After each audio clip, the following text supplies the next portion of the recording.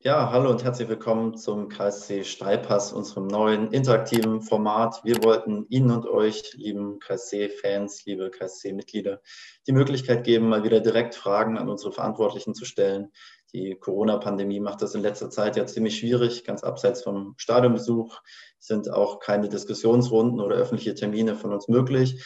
Deswegen heute die digitale Ausgabe. Sie konnten sich im Vorfeld anmelden, haben jetzt die Chance, Fragen zu stellen. Dafür einfach gerne die digitale Hand heben. Wir rufen Sie auf und Sie haben die nächsten zwei Stunden Zeit für Ihre Fragen an Holger Sigmund Schulze, Oliver Kreuzer und Michael Becker.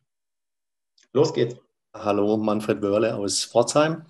Ich habe eine Frage ähm, an äh, den Vorstand. Wie ist der Stand zum Thema Investorensuche? Also ich fühle mich mal als äh, Vorstand angesprochen, Michael, wenn es okay ist. Ähm, also guten Abend ja. auch von meiner Seite. Ja. Ähm, äh, Herr Wörle, also ähm, es ist so, wir haben ja schon kommuniziert, dass diese Investorensuche aufgrund der Möglichkeit, die wir erst seit 2019 haben, nämlich ähm, einen strategischen Partner durch einen Aktienverkauf gewinnen zu können, dass wir das sehr methodisch und gründlich machen wollen, ähm, weil wir einfach das erstmalig machen, aber dann auch einen Partner beim KSC haben, der auch zum Verein passen muss. Und ähm, erstaunlicherweise ist die Rückmeldung von möglichen Interessenten ausgesprochen gut. Das heißt, wir führen einige Gespräche und ähm, dabei spielt vor allem der Standort Karlsruhe eine große Rolle, aber natürlich auch der Veränderungsprozess, in dem sich der Fußball befindet, also der Fußball als solch, aber auch beim KSC, sodass wir vor allem Gesprächspartner haben, die den Fußball als Plattform sehen für ihr eigenes Geschäft. Und das heißt, das sind jetzt nicht verhinderte Fußballmanager, die Geld äh, geben wollen, weil sie eigentlich eine Fußballmannschaft aufstellen wollen, sondern wirklich Unternehmen und institutionelle Partner, die für ihr eigenes Unternehmen, für ihr eigenes Geschäft einen Vorteil sehen, wenn sie den KSC als Plattform haben. Gehen Sie davon aus, dass in den nächsten Monaten äh, es zu einem Ergebnis kommen könnte? Also solche Prognosen sind immer ziemlich schwer und ich will aber ja. auch nicht rumeiern, sondern ich kann so viel dazu sagen, dass wir Gesprächslinien führen, die eine einen Abschluss und die Präsentation eines ersten strategischen Partners innerhalb der nächsten drei Monate möglich machen. Ob das dann auch wirklich der Fall sein wird, hängt von vielen Faktoren ab. Aber es ist auf jeden Fall so, dass wir nicht so weit weg sind, äh, dass wir uns erstmals erstmal mit, mit, mit äh, Interessenten treffen, sondern da werden konkrete Gespräche führt, geführt. Und das kann durchaus sein, dass wir innerhalb der nächsten drei Monate jemanden präsentieren können. Okay, prima. Danke. Felix Rittler macht weiter. Ähm, ja, ich würde gerade mal, ähm, also genau, Felix Settler ist mein Name, ich würde gerade mal äh, den Blick ein bisschen ähm, weiter vorausgehen. Also die finanzielle Situation ist ja weiterhin angespannt und soweit ich weiß, plant der KSC auch erst mit einer Vollauslastung vom Stadion im neuen Jahr. Ähm, außerdem ist das Stadion eventuell verspätet, hat man jetzt ja auch schon in, in der Presse ein bisschen gehört. Ähm, in, in welcher Größenordnung rechnet man da mit einer Entspannung in der Saison 22, 23? Vielleicht die Frage an Herrn Becker.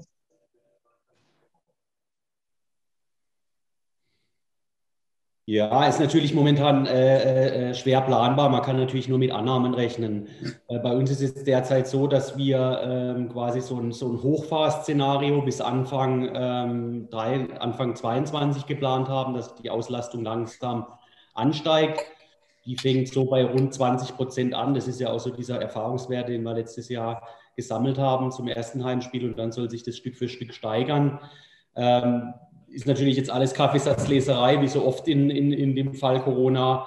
Ähm, generell ist ja die, die, die Stadionfertigstellung äh, ursprünglich geplant gewesen im Mai 22, also heute in einem Jahr.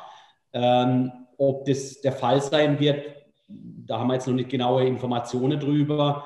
Äh, wir sind da aber planungstechnisch darauf vorbereitet, dass wir natürlich auch eine, eine, eine spätere äh, Fertigstellung letztendlich dann ähm, bewerkstelligen können. Ne? Desto früher, desto besser natürlich. Das ist natürlich auch vollkommen klar. Ähm, aber wir haben uns natürlich durch die Sanierung trotz Corona schon auf äh, äh finanziell bessere Beine gestellt. Und äh, ich habe ja eben bereits gesagt, dass es auch in einer Corona-Saison jetzt nicht nötig war, dass irgendwelche private Gönner noch was äh, äh, ausgleichen mussten. Ähm, in der nächsten Saison muss man jetzt ablaufen, wie Corona da weiterhin abläuft. Aber das ist natürlich generell, glaube ich, eine Profifußballgeschichte. Sollte Corona den Fußball in der nächsten Saison noch wirklich lange, lange äh, äh beeinträchtigen. Ich glaube, dann wird es generell für alle äh, Vereine der ersten drei Ligen durchaus sehr schwierig. Ähm, aber davon gehen wir jetzt momentan nicht aus. Deswegen glaube ich, können wir da schon mit einer Entspannung äh, ähm, äh, rechnen. Wir planen letztendlich äh, in der Gesamtplanung die nächsten fünf Jahre und mit gewissen Annahmen. Und das ist auch so letztendlich angestellt, dass wir das Ganze finanzieren können. Ich glaube, in dem Zusammenhang ist sehr, sehr wichtig, die, die größte Herausforderung für uns in dieser Zeit sind die Investitionen, die ins Stadion geleistet werden müssen, zusätzlich, also rein vom operativen Geschäftsbetrieb. Ähm, äh, da sind wir sehr gut aufgestellt mittlerweile. Aber es geht eben darum, äh, diese Investitionen in Stadien zu tätigen. Und das ist natürlich in einer Phase, wo ich gerade sieben Millionen verliere und auf der anderen Seite zehn Millionen investieren soll, natürlich nicht so einfach. Aber auch da äh, arbeiten wir an Lösungen. Das kann ein Investor sein, das können aber auch äh, äh andere Fremdkapitalgeber sein, äh, die eben dann agieren. Okay, danke schön. Frage beantwortet. Dann machen wir weiter mit Carsten Meyer. Ja, guten Abend. Ähm, ich hätte eine Frage und zwar ähm, beim Businessabend im Januar wurde ja angekündigt, dass ein neuer Sponsor, ein größerer Sponsor einsteigen soll und das Ganze irgendwie mit einer besonderen Aktion ähm, ja, präsentiert werden soll. Wie ist denn hier der Stand? Ja, ich darf natürlich noch nicht so, so viel verraten, äh, ähm, äh, was, da, was da genau kommt. Ähm, ich glaube, Sie können sich aber sicher sein, dass in der, ich muss mal gucken, äh, bis zum offiziellen Start der neuen Saison, das wäre ja der erste siebte, äh, sagen wir mal so in den nächsten sechs, sechs, sieben Wochen das ein oder andere noch passiert. Also da gerne unsere Medien verfolgen. Ähm, viel mehr darf ich leider noch nicht dazu sagen, aber es sieht ganz gut aus und äh, vielleicht ist es auch nicht nur ein Partner. Okay, vielen Dank. Äh, der nächste in der Reihe ist Duffy. Vorhin auch schon die echte Hand gehoben, jetzt die digitale. Gerne Ton an und loslegen.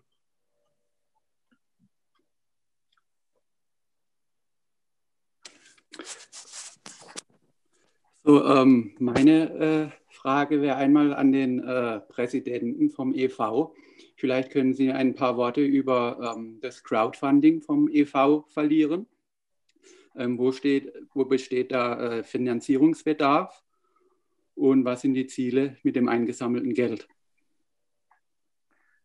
Also zunächst mal ähm, ist es eine sehr gute Frage, weil man da nochmal rausstellen muss, was wir eigentlich damit bezweckt haben. Also es ist aus unserer Sicht ähm, ähm, nicht so angekommen, wie wir uns das gewünscht haben, weil ähm, der KSC ja meist noch als Ganzes wahrgenommen wird, nämlich vor allem eben als Profi-Fußballverein und ähm, der EV mit seinen anderen Sparten nicht differenziert wahrgenommen wird. Das ist aber seit der Ausgliederung des Profibereichs und der U17 und 19 die KGA der Fall.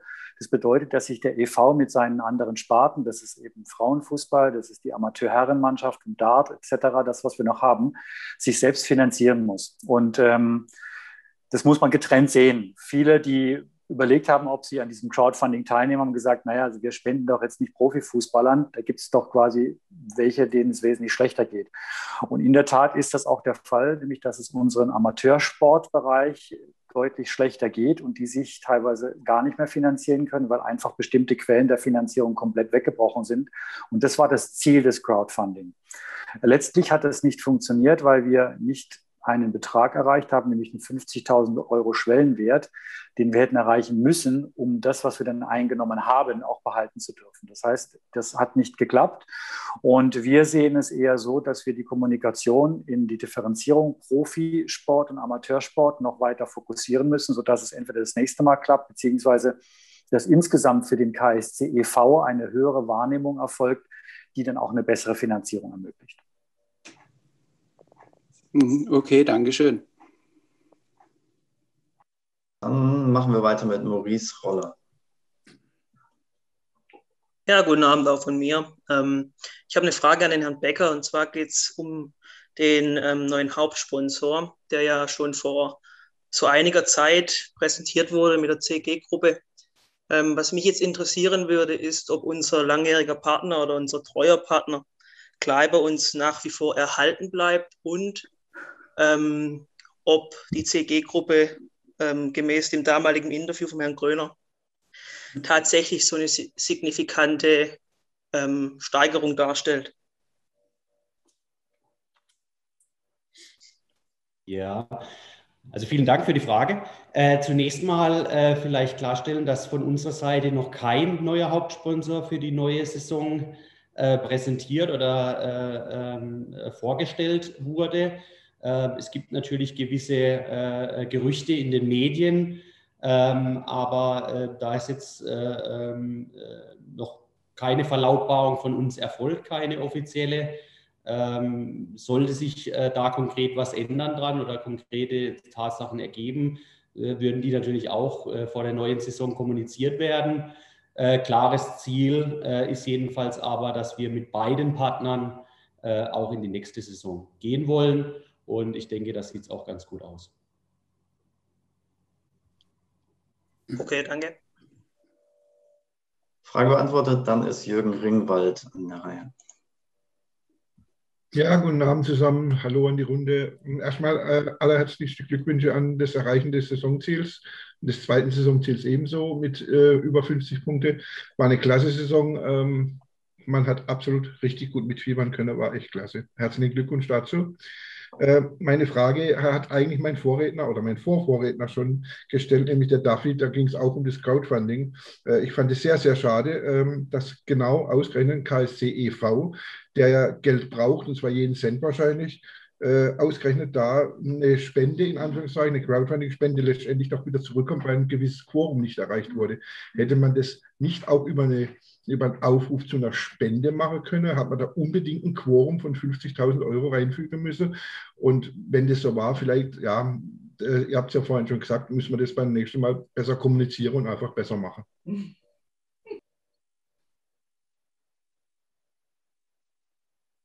Michael, möchtest du dazu noch was sagen? Ja, also äh, äh, ergänze, ich, äh, ergänze ich gerne. Äh, ich bin ja auch noch äh, Geschäftsführer im EV, deswegen kann ich dazu natürlich auch gerne äh, was sagen. Ähm, es ist so, dass wir natürlich erstmal ein bisschen Erfahrungen sammeln müssen, wie dieser ideelle EV so agiert und was man mit dem erreichen kann. Wir haben dann länger hier diskutiert auch oder uns ausgetauscht, welches Ziel gesetzt wird ähm, und haben uns dann für die 50.000 entschieden. Jetzt im Nachhinein betrachtet war es wahrscheinlich in dieser, ähm, in dieser Phase aktuell äh, äh ein bisschen zu hoch gestecktes Ziel. Ähm, es gibt aber natürlich immer die Möglichkeiten, dass man eine Spende an den EV richten kann. Da sind ja auch auf der Webseite dann Informationen dazu und bekommt dann auch eine Spendebescheinigung und man kann auch dazu schreiben, welche Abteilung das bekommen soll. Dann kriegt es auch die entsprechende Abteilung. Ähm, zukünftig möchten wir auch wieder solche Aktionen machen, würden dann aber natürlich die, die Summen etwas runterkorrigieren. Aber da gab es schlicht und weg noch keine Erfahrungswerte, auch von anderen Vereinen. Ähm, und deswegen war es im Nachgang betrachtet äh, ein Tick zu hoch, aber so eben war eben dann die Bedingung und deswegen wurde es zurücküberwiesen. Aber wir freuen uns natürlich trotzdem äh, über jede Spende, die dann an den ideellen Verein dann auch geht und dort zielgerichtet äh, eingesetzt wird. Da vielleicht auch nochmal, es ist äh, vertraglich da auch ganz geregelt, dass Spenden, die im EV ankommen, auch im EV verarbeitet werden. Also es ist nicht so, dass dann irgendwie die KGA gegensubventioniert wird oder sonst was, sondern dieses Geld wird dann äh, eingesetzt für die ideellen, ähm, ideellen Abteilungen, für den ideellen EV. Und wie gesagt, man kann auch äh, wirklich eine Abteilung gezielt fördern, indem man halt den, den, Namen der Abteilung dann nennt und dann wird es quasi auf das Budget äh, der Abteilung dann, äh, dann aufgesetzt. Ja, genau so habe ich es dann auch gemacht. Ich habe dann logischerweise nachträglich auch noch eine Spende gemacht. Aber wie gesagt, mich hat es nur ein bisschen geärgert, dass aufgrund von, von diesem Quorum, was nicht erreicht war, ist, dass das Geld letztendlich an alle anderen wieder zurücküberwiesen, äh, an alle anderen, an alle zurücküberwiesen werden müsse, was dann doch ein erheblicher Verwaltungsaufwand ist. Okay, das war's schon. Vielen Dank. Wolfgang Wagner ist der Nächste. Ja, schönen guten Abend und auch von mir herzlichen Glückwunsch an eine erfolgreiche Saison. Hat wirklich Spaß gemacht, ähm, zuzuschauen, die Spiele anzuschauen dieses Jahr. Und ähm, jetzt muss man natürlich sagen, äh, die Mannschaft hat auch wirklich überrascht. Und ähm, wie möchte man jetzt den Marktwert auch steigern dieser Mannschaft? Ähm, wir liegen immer noch im unteren Bereich und laut ähm, ja, Aussagen wird ja oder laut Erfahrung wird ja immer wieder gesagt, dass nach fünf Jahren diese Tabelle auch nicht lügt. Ja? Also ähm, die Spitzenmannschaften, die liegen alles über einem Marktwert über 20 Millionen. Wir noch bei circa 14. Und ja, gibt es da auch eine Strategie, wie man den Marktwert der Mannschaft steigern kann? Und ähm, anders gefragt, ähm, welche Umsatzziele verfolgt der KSC in den nächsten drei bis fünf Jahren? Da gab es jetzt einen Bericht in der Sportbild von Dynamo Dresden über einen Fünfjahresplan zu ähm, Wellenreuter Zeiten. Hatte man sowas vom KSC auch mal gehört, dass man so in zwei bis drei Jahren in der Spitzengruppe der zweiten Liga mitspielen möchte? Gibt es diese noch? Und ähm, ja, und welche Umsatzziele hat man da in den nächsten vier bis fünf Jahren? Äh, Herr Grossmann, vielleicht für, für Strategie Ihrer, Ihrer Marktwertanalyse. Also äh, am ehesten äh, steigern Sie natürlich die, die Transferwerte oder die Marktwerte der Spieler durch einen sportlichen Erfolg. Das ist ganz klar. Und äh, bei uns geht es ja auch darum, Sie wissen auch, dass wir, äh ich sage mal, den KSC neu ein bisschen in eine andere Spur führen wollen. Das heißt, äh, wir haben uns ja selbst ein sportliches Konzept auferlegt, äh, dass wir eigentlich eine sehr enge Verzahnung zwischen NNZ und unserer Profimannschaft haben wollen. Und wir wollen auch verstärkt in naher Zukunft immer wieder auf, auf unsere eigenen Talente setzen. Und äh, wenn wir da mit diesem Weg Erfolg haben, dann glaube ich schon, dass allein dadurch schon, auch wenn wir weiterhin in der Liga eine, eine gute Platzierung einnehmen, dass sich automatisch dann auch die Marktwerte unserer Spieler steigern. Also es kann nur über den Weg des, des Erfolges gehen. Äh, natürlich gibt es immer wieder Ausnahmen. Das heißt, wenn ein Spieler äh, außergewöhnlich performt, ne, auch da wird eine, eine Marktwertsteigerung möglich sein. Aber am ehesten geht es natürlich über eine gesamtheitliche Entwicklung im Verein und auch über einen gesamtheitlichen Erfolg. Zu den Umsatzzahlen, Michael, oder Umsatzsteigerungen, glaube ich, da bist du eher gefragt. Ja, also es ist natürlich so, dass wir, hatte ich ja äh, einleitend eben auch mal gesagt, natürlich einen, einen, einen Fünfjahresplan äh, aufgestellt haben, äh, der dann immer dauernd aktualisiert wird auch. Wir haben natürlich momentan ein paar äh, ähm, Unwägbarkeiten, was insbesondere das Stadion angeht, weil sie natürlich nicht derzeit mir natürlich nicht genau planen können, äh, wann, wann das Stadion voll einsatzfähig ist und wann auch die erste Saison ist, wann das Stadion voll einsatzfähig ist. Ähm, ich glaube, wenn man das von den Umsatzzahlen sieht und auch vom, vom sportlichen Bereich natürlich dann, es geht ganz klar darum, uns in der, in der zweiten Liga zu etablieren. Äh, wenn man das rein von der wirtschaftlichen Seite mal betrachtet, äh, ähm, ist da insbesondere die Fünfjahreswertung relevant von den TV-Geldern her. Und äh, ähm, diese fünf Jahre, da gilt es halt auch dann Punkte zu sammeln. Ne? Da wird ja immer äh, der, Punkte, der, der äh, Platz, äh, den, den Tabellenplatz, den man erreicht hat, mit einer gewissen äh, Zahl multipliziert. Also den, was man von fünf Jahren erreicht hat, wird mit eins äh, multipliziert. Äh, den, was man vor vier Jahren hat, mit zwei. Und so geht es dann natürlich, wird es erhöht. Ähm, und da ist es natürlich äh, so, dass wir natürlich, wenn ich die letzten fünf Jahre nehme, mit Ausnahme dieses, von diesem Jahr, wo wir natürlich super performt haben, das uns auch natürlich dann auf Dauer weiterhilft, in dem Vorjahr mit Platz 15 natürlich keine großen Punkte geholt haben. In den dann hatten wir drei Drittliga-Jahre zuvor, haben wir gar keine Punkte geholt. Und dann haben wir ein äh, ähm, Jahr gehabt, wo wir letzter waren, haben wir auch nichts geholt. Also das stellt uns natürlich wirtschaftlich extrem viel schlechter und fordert uns natürlich auch raus in der kommenden Saison. Aber generell geht es für uns natürlich äh, äh, äh darum, auch unsere Umsätze außerhalb der TV-Gelder stark zu erhöhen. Ähm, das machen wir schon im Sponsoring oder im Merchandising. Äh, da haben wir ja immer in den Mitgliederversammlungen mal die Zahlen ein bisschen genannt. Der Anstieg ist weiterhin massiv groß. Wenn alles glatt läuft, wären wir vielleicht sogar äh, siebenstellig im Merchandising-Bereich zum Beispiel, wo wir ähm, äh, ja, vor vier, fünf Jahren äh, vielleicht beim Drittel oder der Hälfte waren. Ähm, also das, das sind wir dran. Es ist aber auch klar, dass der ganz große Schritt natürlich erst kommt, wenn wir eine, voll, ein volles, eine volle Saison im neuen Stadion spielen können. Und das ist natürlich noch nicht so ganz absehbar, wann das genau ist. Äh, deswegen kann man da immer nur mit Annahmen rechnen. Und äh, dann ist natürlich die finanzielle Situation eine ganz andere. Und es führt natürlich auch dazu, dass man mehr Möglichkeiten hat, um dann eben in Folge auch die Wahrscheinlichkeit für einen sportlichen Erfolg zu erhöhen. Aber eine Garantie gibt Ihnen natürlich nie jemand. Ne? Also äh, ähm, es gibt ja jetzt auch dieses Jahr wieder äh, diverse Beispiele, dass natürlich äh, ein, ein, ein, ein gutes Beispiel vielleicht äh, ähm, der Verein, der jetzt ja schon dreimal nicht aufgestiegen ist, der momentan einen Etat von fast 30 Millionen hat, die letzten drei Jahre. Äh, das ist jetzt auch keine Garantie, dass ich aufsteige. Ich glaube, wichtig ist, dass man äh, das wirtschaftlich nachhaltig macht und ähm, keine, kein Casino spielt. Das ist auch nicht unser Weg, sondern das einfach über Jahre aufbaut. Und dann haben wir, glaube ich, auch schon gute Chancen, äh, die Wahrscheinlichkeit da massiv zu erhöhen. Aber wir werden jetzt keine Harakiri-Aktion machen ähm, äh, die nächsten Jahre, um irgendwas zu erzwingen.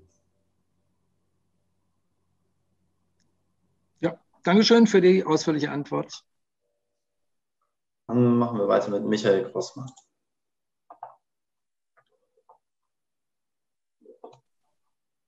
Ja, hallo zusammen, auch von, von mir in die Runde. Ähm, ich habe sogar zwei Fragen, die ich mir erlaube zu stellen. Zum einen, ähm, Michael, bezüglich der TV-Gelder war zu lesen, dass Platz 6 aufgrund der, ähm, der, der, dem Verbleib von Sandhausen in der Liga jetzt äh, gar nicht mehr so viel bringt. Kann man da irgendwie was beziffern? Also was, was wäre jetzt der Unterschied gewesen zwischen 6 und 10?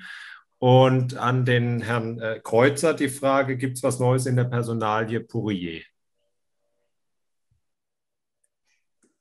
Wir fangen an, Michel, du? Ja, ich kann anfangen.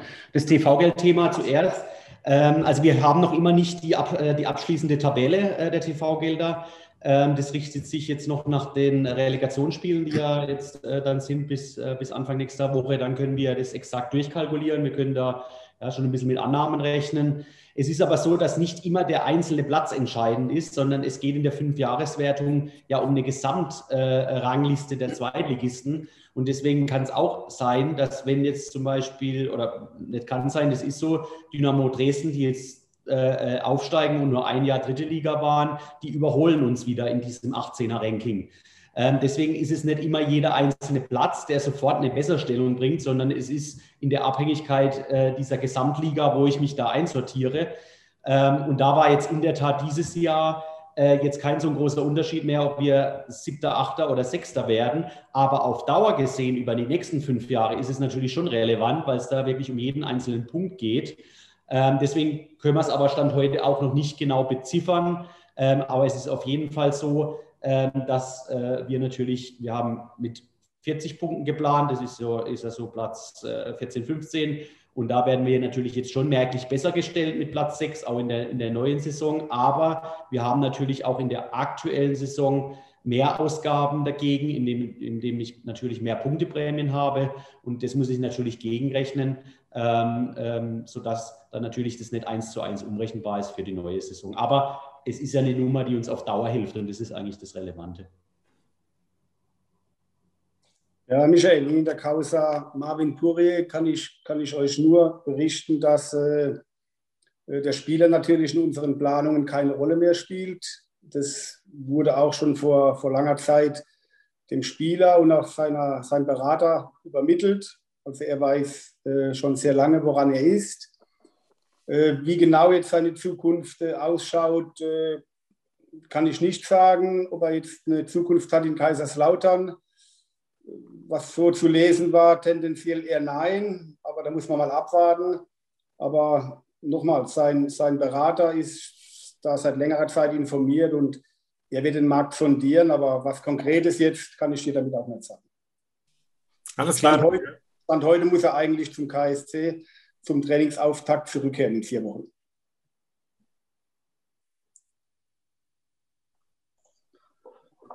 Dann machen wir weiter mit Winnie Mühling. Ja, ähm, du vielleicht gerade hier eine äh, direkte Anschlussfrage, Herr Kreuzer. Die, ja. die, Rückkehr, was würde das denn dann, dann bedeuten fachlich? Äh, würden Sie ihn dann akzeptieren zum Training? Muss, äh, muss er, müssen Sie ihn zulassen zum Training? Oder äh, wenn Sie einfach sagen, wird freigestellt? Oder? Wie, wie ist Ihre Position? Nein, der Marvin hat hier bei uns einen gültigen Vertrag und äh, den akzeptieren wir auch und müssen wir auch respektieren, ist ja ganz klar. Also wenn Marvin bis zum 20. Äh, Juni bei, beim Trainingsauftakt keine neuen Verein hat, dann äh, wird er logischerweise bei uns am Mannschaftstraining teilnehmen.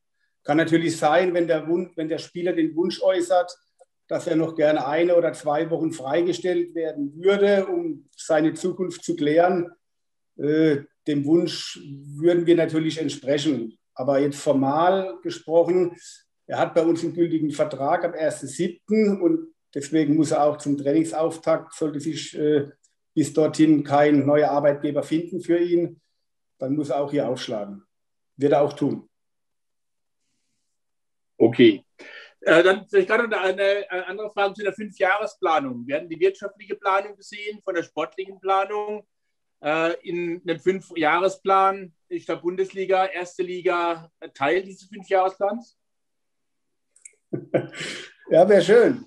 Ja, ich kann, die, ich kann die Pläne schon machen, aber abnehmen, ist die andere Frage. Ich, ich nehme sie gerne ab, ja. Nein, schauen Sie, also ich bin kein Freund von, von solchen Zusagen und solchen Plänen. Natürlich sollten wir, glaube ich, schon irgendwann mittelfristig in der Lage sein. Der Michael Beck hat vorhin angesprochen, wir haben natürlich äh, mit dem neuen Stadion ganz andere Einnahmemöglichkeiten. Der Herr Sigmund Schulze hat von einem möglichen Investor gesprochen. Das sind alles Dinge, wenn die mittelfristig in den nächsten zwei bis drei Jahren passieren, dann glaube ich schon, dass der KSC auch äh, seinen Lizenzspieleretat anpassen kann.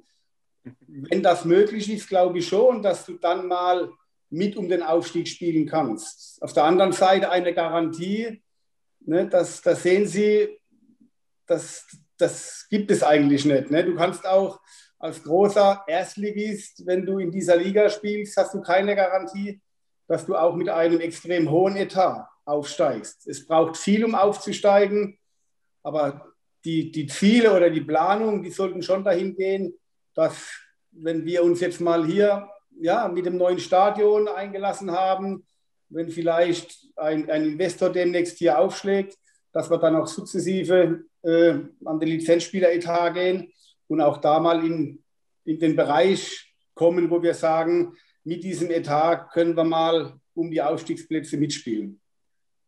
Sehr gut, danke, freue ich mich drauf. Sehr, sehr gerne. Machen wir weiter mit äh, T. Bauer. Hat sich via Chat gemeldet, dass die digitale Hand leider nicht funktioniert, war aber in der Reihe. Dank. Dafür funktioniert die manuelle, tatsächliche Hand umso besser.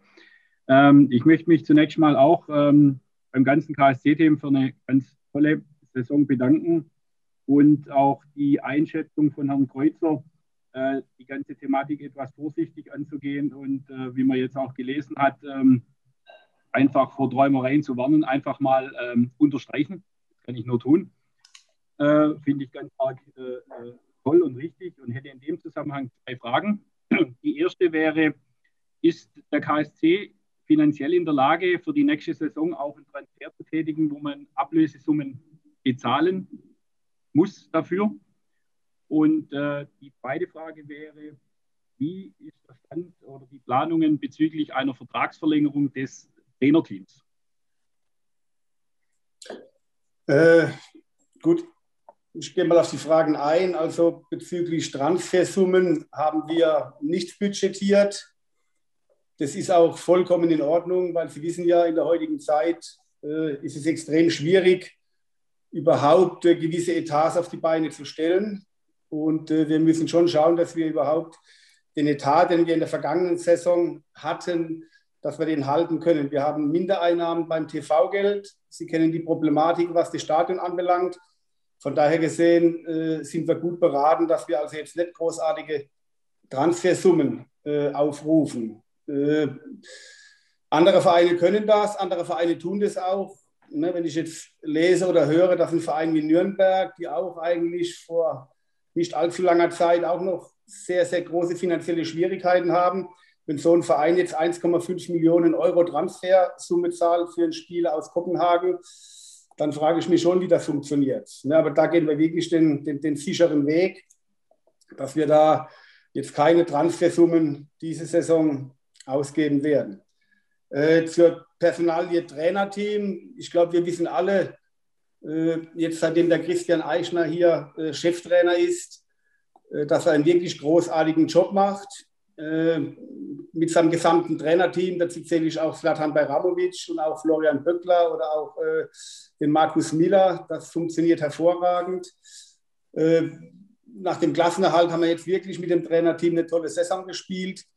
Und klar, Christian hat noch ein Jahr Vertrag und aus unserer Sicht kann der Christian noch Jahre hier arbeiten.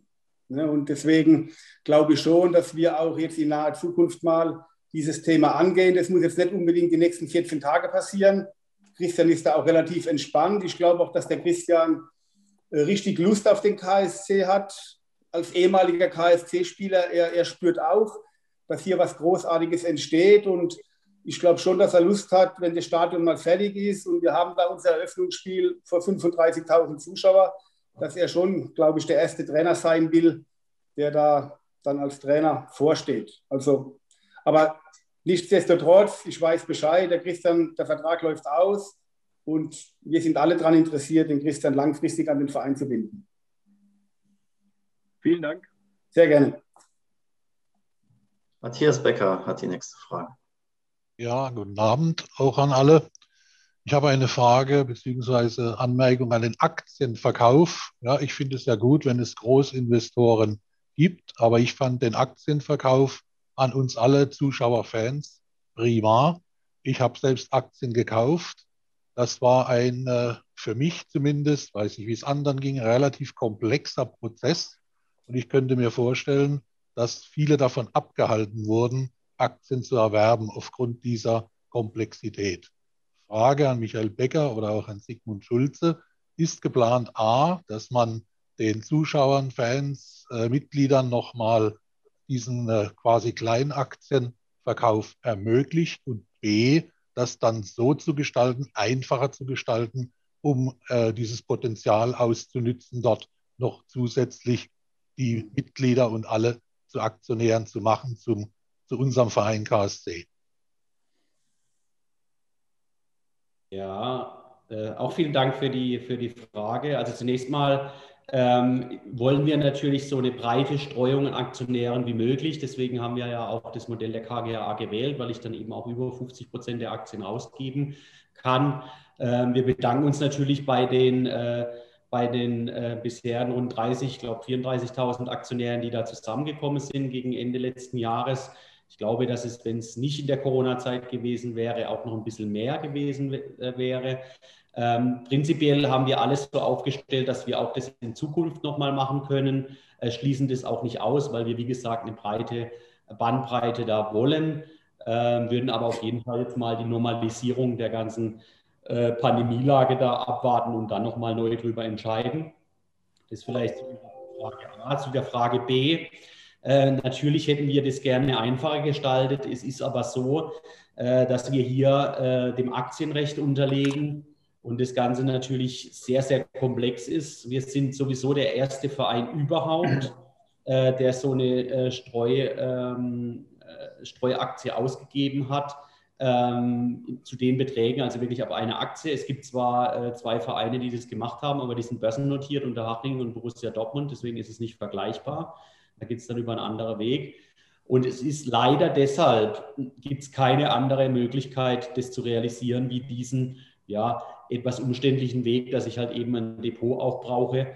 Ähm, aber das sind einfach die aktienrechtlichen Vorgaben und äh, daran müssen wir uns halten. Vielleicht ergibt sich da mal in der Änderung äh, vom Aktienrecht her, dann würde man uns natürlich dann zu anpassen. Ansonsten geht es leider nur so, wie es wir jetzt abgewickelt haben.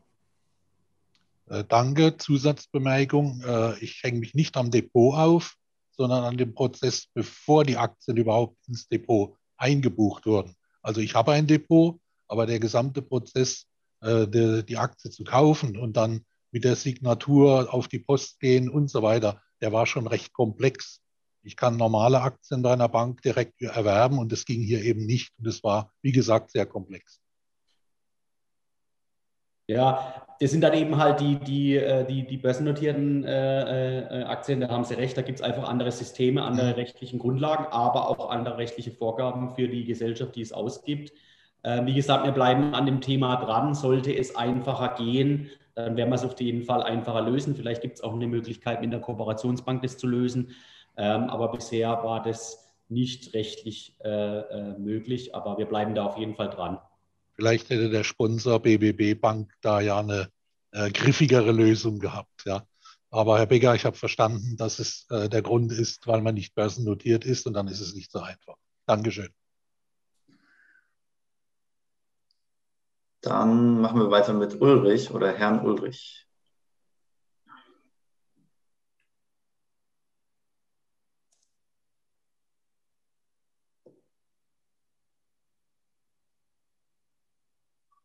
Dazu den Ton bitte anschalten.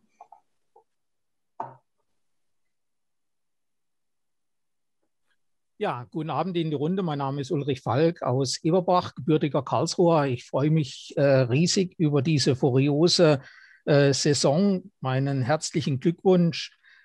Was mir besonders imponiert ist, dass es gelungen ist, diese Marke KSC wieder sehr positiv äh, zu besetzen. Man spürt, da steht eine Philosophie dahinter.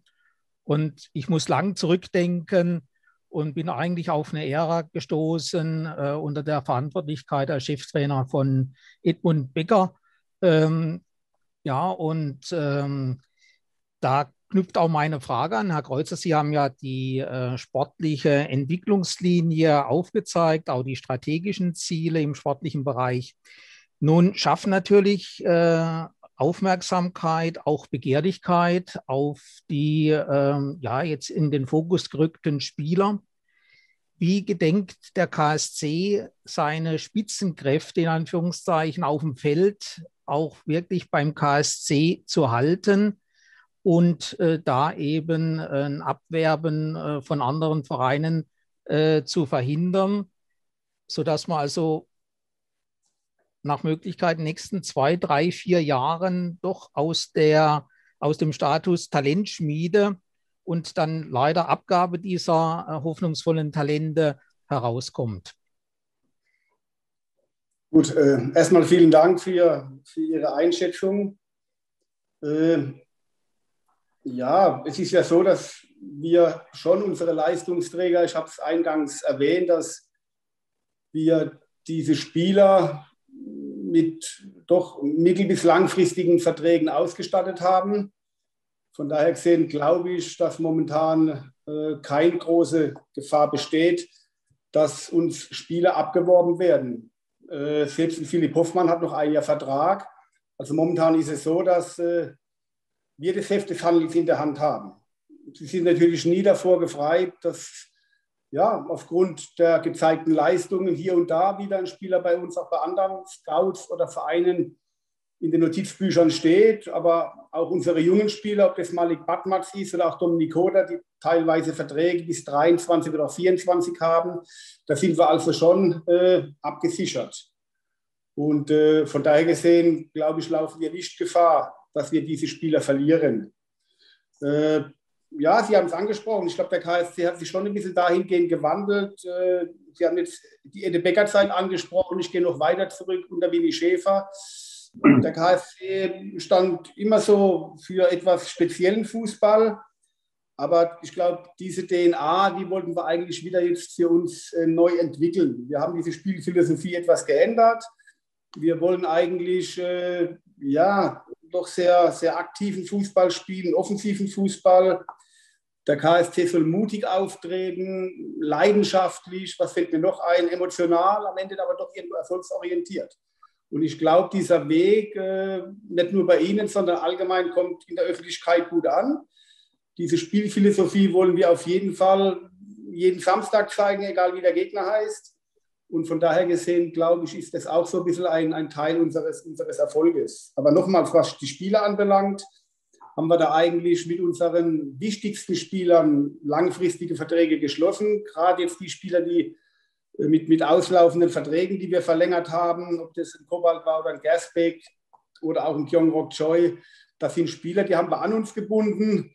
Und äh, ja, die einzige Personalie, die uns jetzt noch ein bisschen bedrückt, ist die von Philipp Hoffmann. Ne, nochmal, also letztendlich entscheiden wir, ob er diese Saison gehen kann, darf, soll. Äh, momentan ist es relativ ruhig, kann ich jetzt schon vorne wegnehmen. Es gibt keine Anfrage für diesen Spieler. Und aber auch da sind wir natürlich sehr stark interessiert, dass, dass Philipp Hoffmann, der jetzt die letzten zwei Jahre sich zu einem absoluten Leader und Führungsspieler bei uns entwickelt hat und, und unser Torjäger schlechthin ist, dass er auch weiterhin für den KSC spielt. Und ich sehe da auch wirklich keine schlechten Möglichkeiten, dass uns das vielleicht sogar gelingt. Ja, vielen Dank. Darf ich Sehr vielleicht gerne. noch eine kleine Frage nachschieben?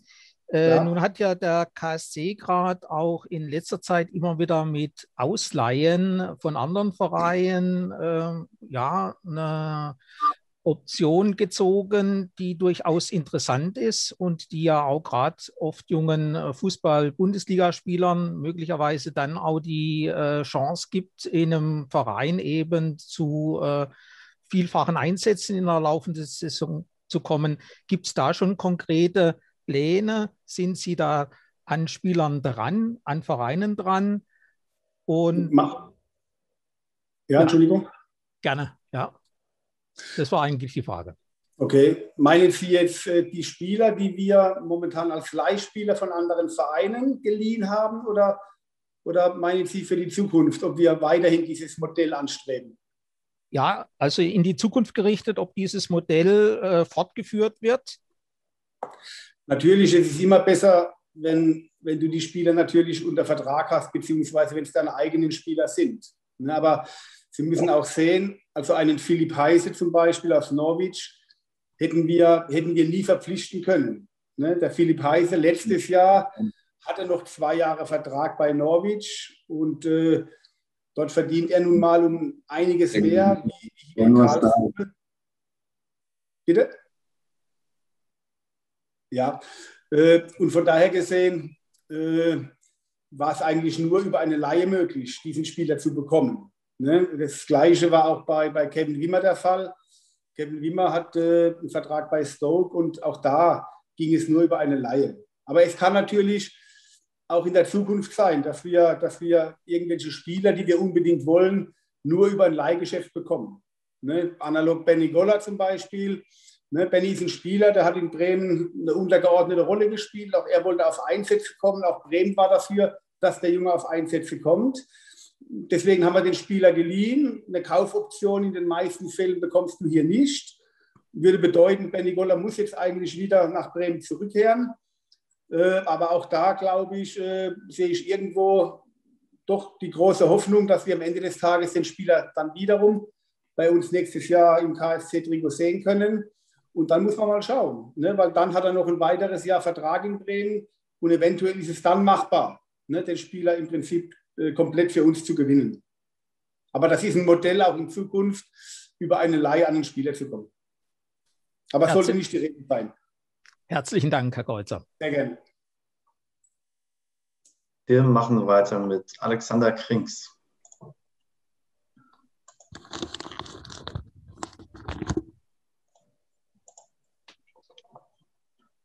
So, jetzt ist das Audio an.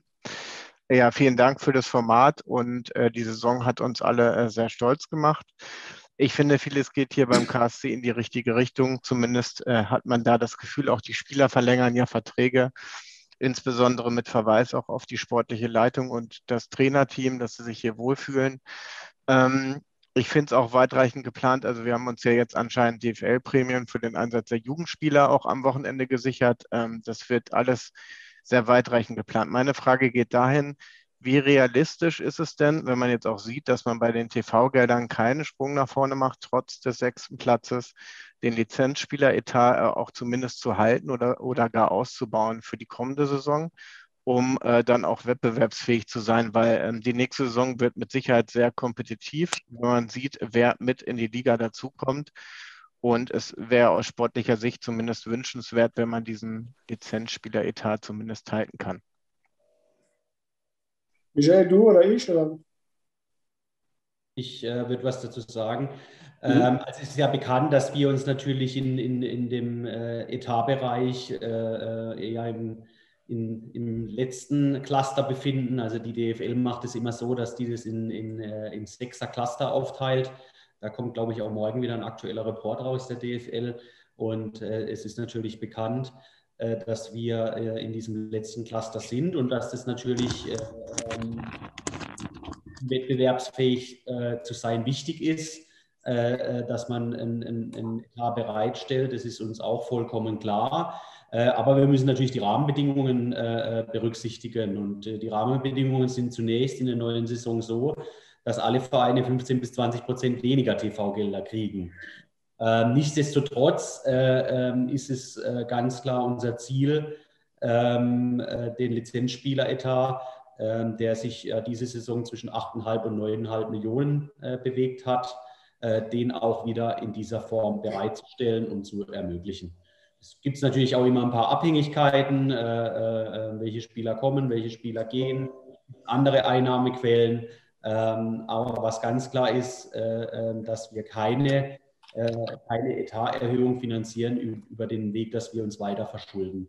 Das ist ausgeschlossen und das hat, glaube ich, vor einem Jahr, das ist jetzt mittlerweile ein bisschen mehr wie ein Jahr her, doch, glaube ich, vielen den Augen ge geöffnet, dass das eben nicht der andere Weg oder der Weg sein kann und dass wir da einfach besser, besser agieren müssen. Ähm, aber nochmal gesagt, noch gesagt, uns ist allen klar, äh, dass es ohne einen wettbewerbsfähigen Etat auch nicht geht und dass es uns auch nicht hilft, äh, wenn wir dann absteigen. Aber es ist halt dann, äh, es muss nachhaltig und wirtschaftlich vertretbar sein und da sind wir dran und das Ziel ist ganz klar, ähm, ähm, mindestens den gleichen Etat wie letzte Saison dann bereitzustellen.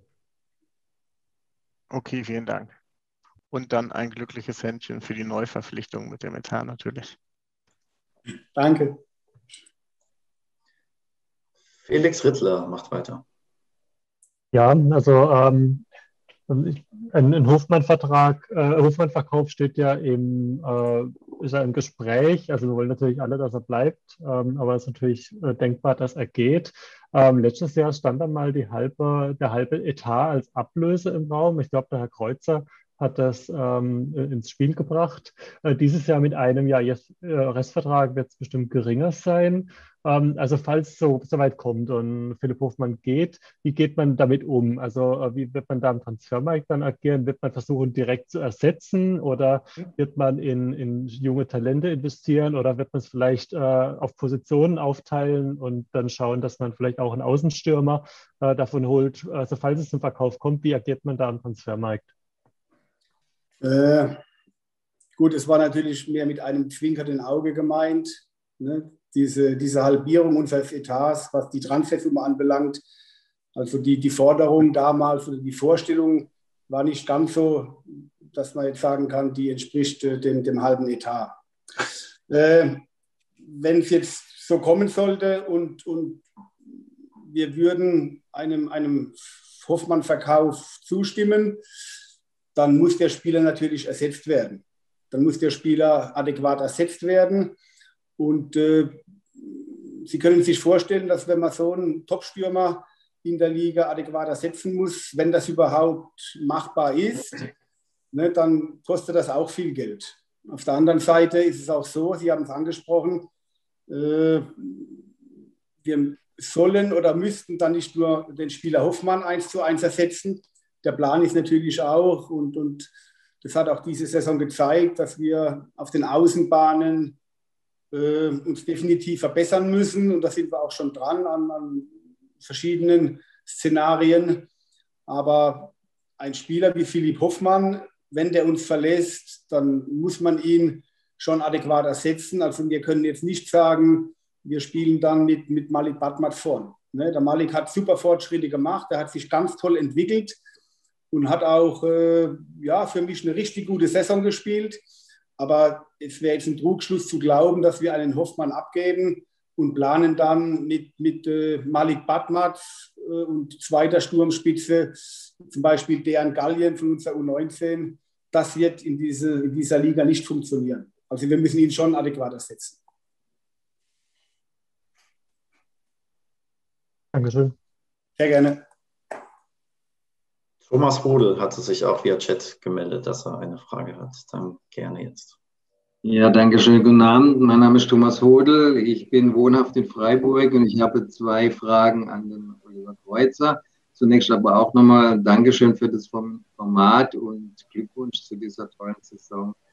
Kreuzer, äh, erste Frage, ist es denn geplant, nach Team Breithaupt noch weitere U19-Spieler mit Profiverträgen auszustatten? Und zweite Frage, ist es denn mit den Jungprofis Löhr, Dinger, Rabold und Tribunic geplant? Die haben jetzt ihr erstes Profijahr hinter sich, aber die brauchen jetzt ja dann auch irgendwann Spielpraxis. Weil wir ja keine U23 mehr haben, wird es für diese Jungs auch recht schwer. Äh, ist denn da äh, geplant, äh, mit den Jungs über, über Ausleihen an andere Vereine zu sprechen?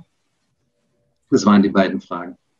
Gerne, ja. Also zum Thema Team Breithaupt. Äh, Tim, ja, ist im Prinzip eigentlich noch U19-Spieler. Äh, Tim hat aber das letzte halbe Jahr regelmäßig mit der Profimannschaft trainiert und dann war schon zu sehen, dass da ein richtig gutes Talent in ihm schlummert. Und äh, wie gesagt, Christian ist dann auch ein Trainer, der den, den, jungen Spielern Vertrauen schenkt, der sie auch zum Spielen kommen lässt. Tim hat es in seinen wenigen äh, Einsätzen, die er bisher bekommen hat, richtig, richtig gut gemacht.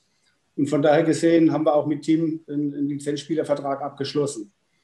Äh, es kann sein, dass der eine oder andere aus der A-Jugend noch dazu stößt. Ich denke da gerade an, an Luca Boya, ne, der da ein richtig gutes, äh, richtig gute Performance auch schon hingelegt hat bei den Profis. Aber an, an weitere äh, ja, Lizenzspielerverträge jetzt für Jugendspieler stehen eigentlich nicht im Raum. Das andere Thema, was Sie gesagt haben, zum Beispiel äh, Paul Löhr, Tribunic und Dinger, Sie haben recht, das sind natürlich Spieler, die seit einem Jahr jetzt dabei sind, die aber natürlich äh, aufgrund ja, der Situation so gut wie nie zum Einsatz gekommen sind.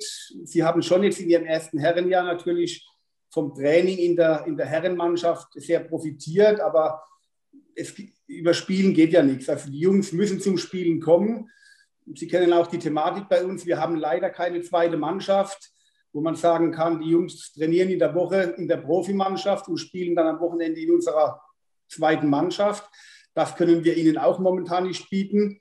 Von daher gesehen ist, glaube ich, schon auch der, ja, der Wunsch dieser Spieler, und so wird es auch sein, wir sind ja da ständig im Austausch, auch mit den Beratern, dass es sein kann, dass diese Spieler uns im Sommer verlassen werden und sich anderen Vereinen anschließen. Okay, Dankeschön. Sehr gerne. Wir machen weiter mit Hacker. Herr Hacker, Hacker. Ja, guten Abend in die Runde. Ähm, ich hätte eine Frage zur derzeitigen äh, Situation bezüglich der Stadionauslastung. Jetzt mal angenommen, es werden äh, die Corona-Regeln aufgenommen und die Fans können wieder ins Stadion. Was ist denn derzeit die Kapazität, die der Wildpark hätte? Und plant der KSC diese nur mit Dauerkarten zu füllen oder wird es auch äh, Tageskarten geben, da ich als Wahlmünchner nicht immer in Karlsruhe sein kann? Ja, das würde ich übernehmen. Also zunächst freut es uns natürlich auch, dass wir auch aus München KSC-Fans begrüßen dürfen und dass die auch das ein oder andere Mal äh, nach Karlsruhe fahren.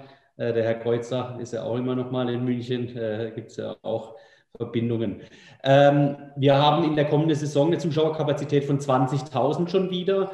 Ähm, auf der neuen Osttribüne liegen wir so bei 10.000 Sitzplätzen. Äh, da ist noch ein bisschen Gästebereich dann auf der linken Seite dabei. Und die neue Stehplatztribüne hat eben 10.000. Das heißt, wir haben 20.000 Plätze.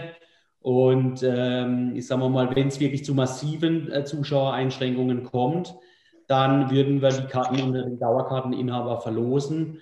Äh, sobald es aber natürlich ein, ein einigermaßen Normalzustand ist, äh, werden, wir auch, werden wir jetzt nicht 20.000 Dauerkarten verkaufen. Ne? Es wird auf jeden Fall noch einen Anteil geben, äh, dass auch KSC-Fans, die eben nicht jedes Mal kommen können, äh, eben die Möglichkeit haben, eine Karte äh, zu erwerben. Aber ich denke, mit 20.000 sind wir auch schon ganz gut aufgestellt, äh, von der Kapazität auch wieder.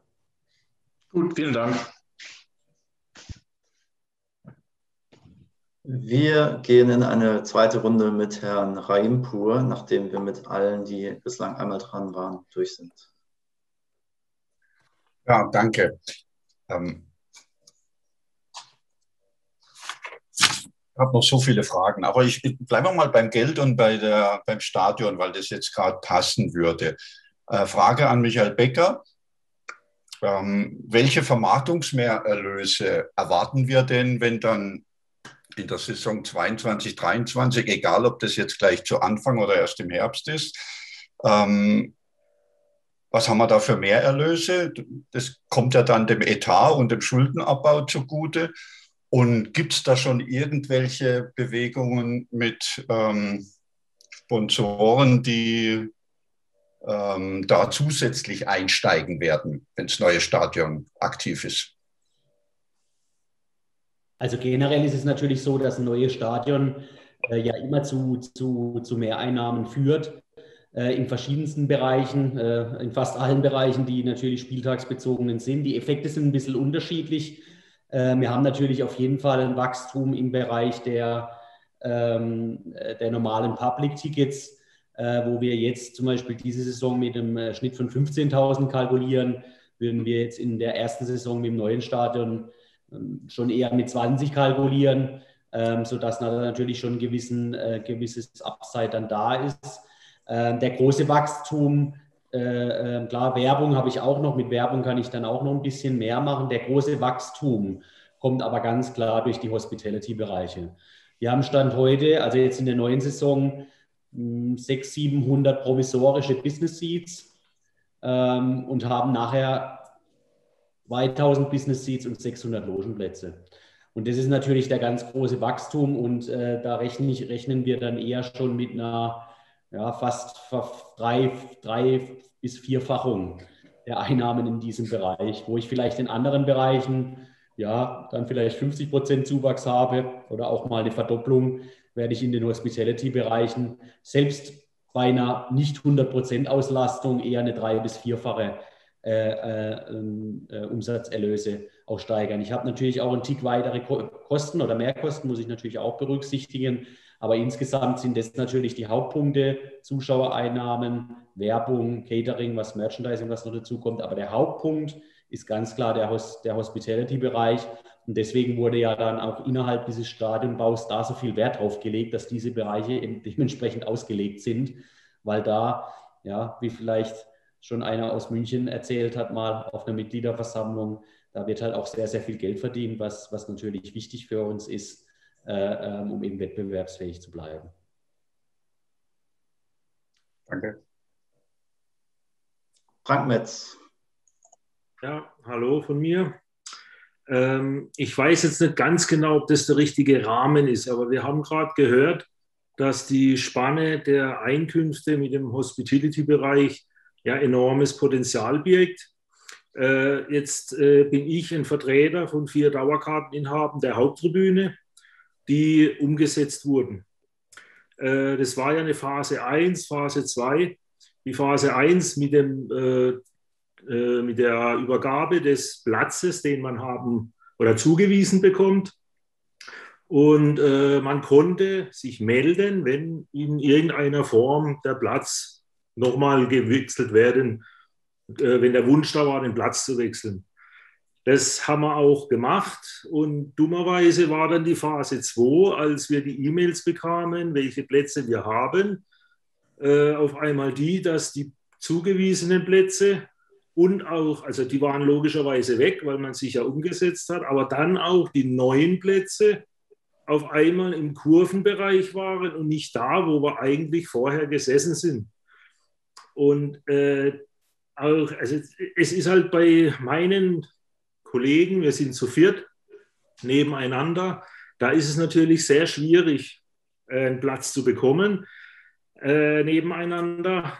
Das hat Gott sei Dank, dank der Frau Haag, dann doch noch geklappt, aber allerdings in Bereichen, wo man eigentlich nicht äh, vom ursprünglichen Platz her sein wollte.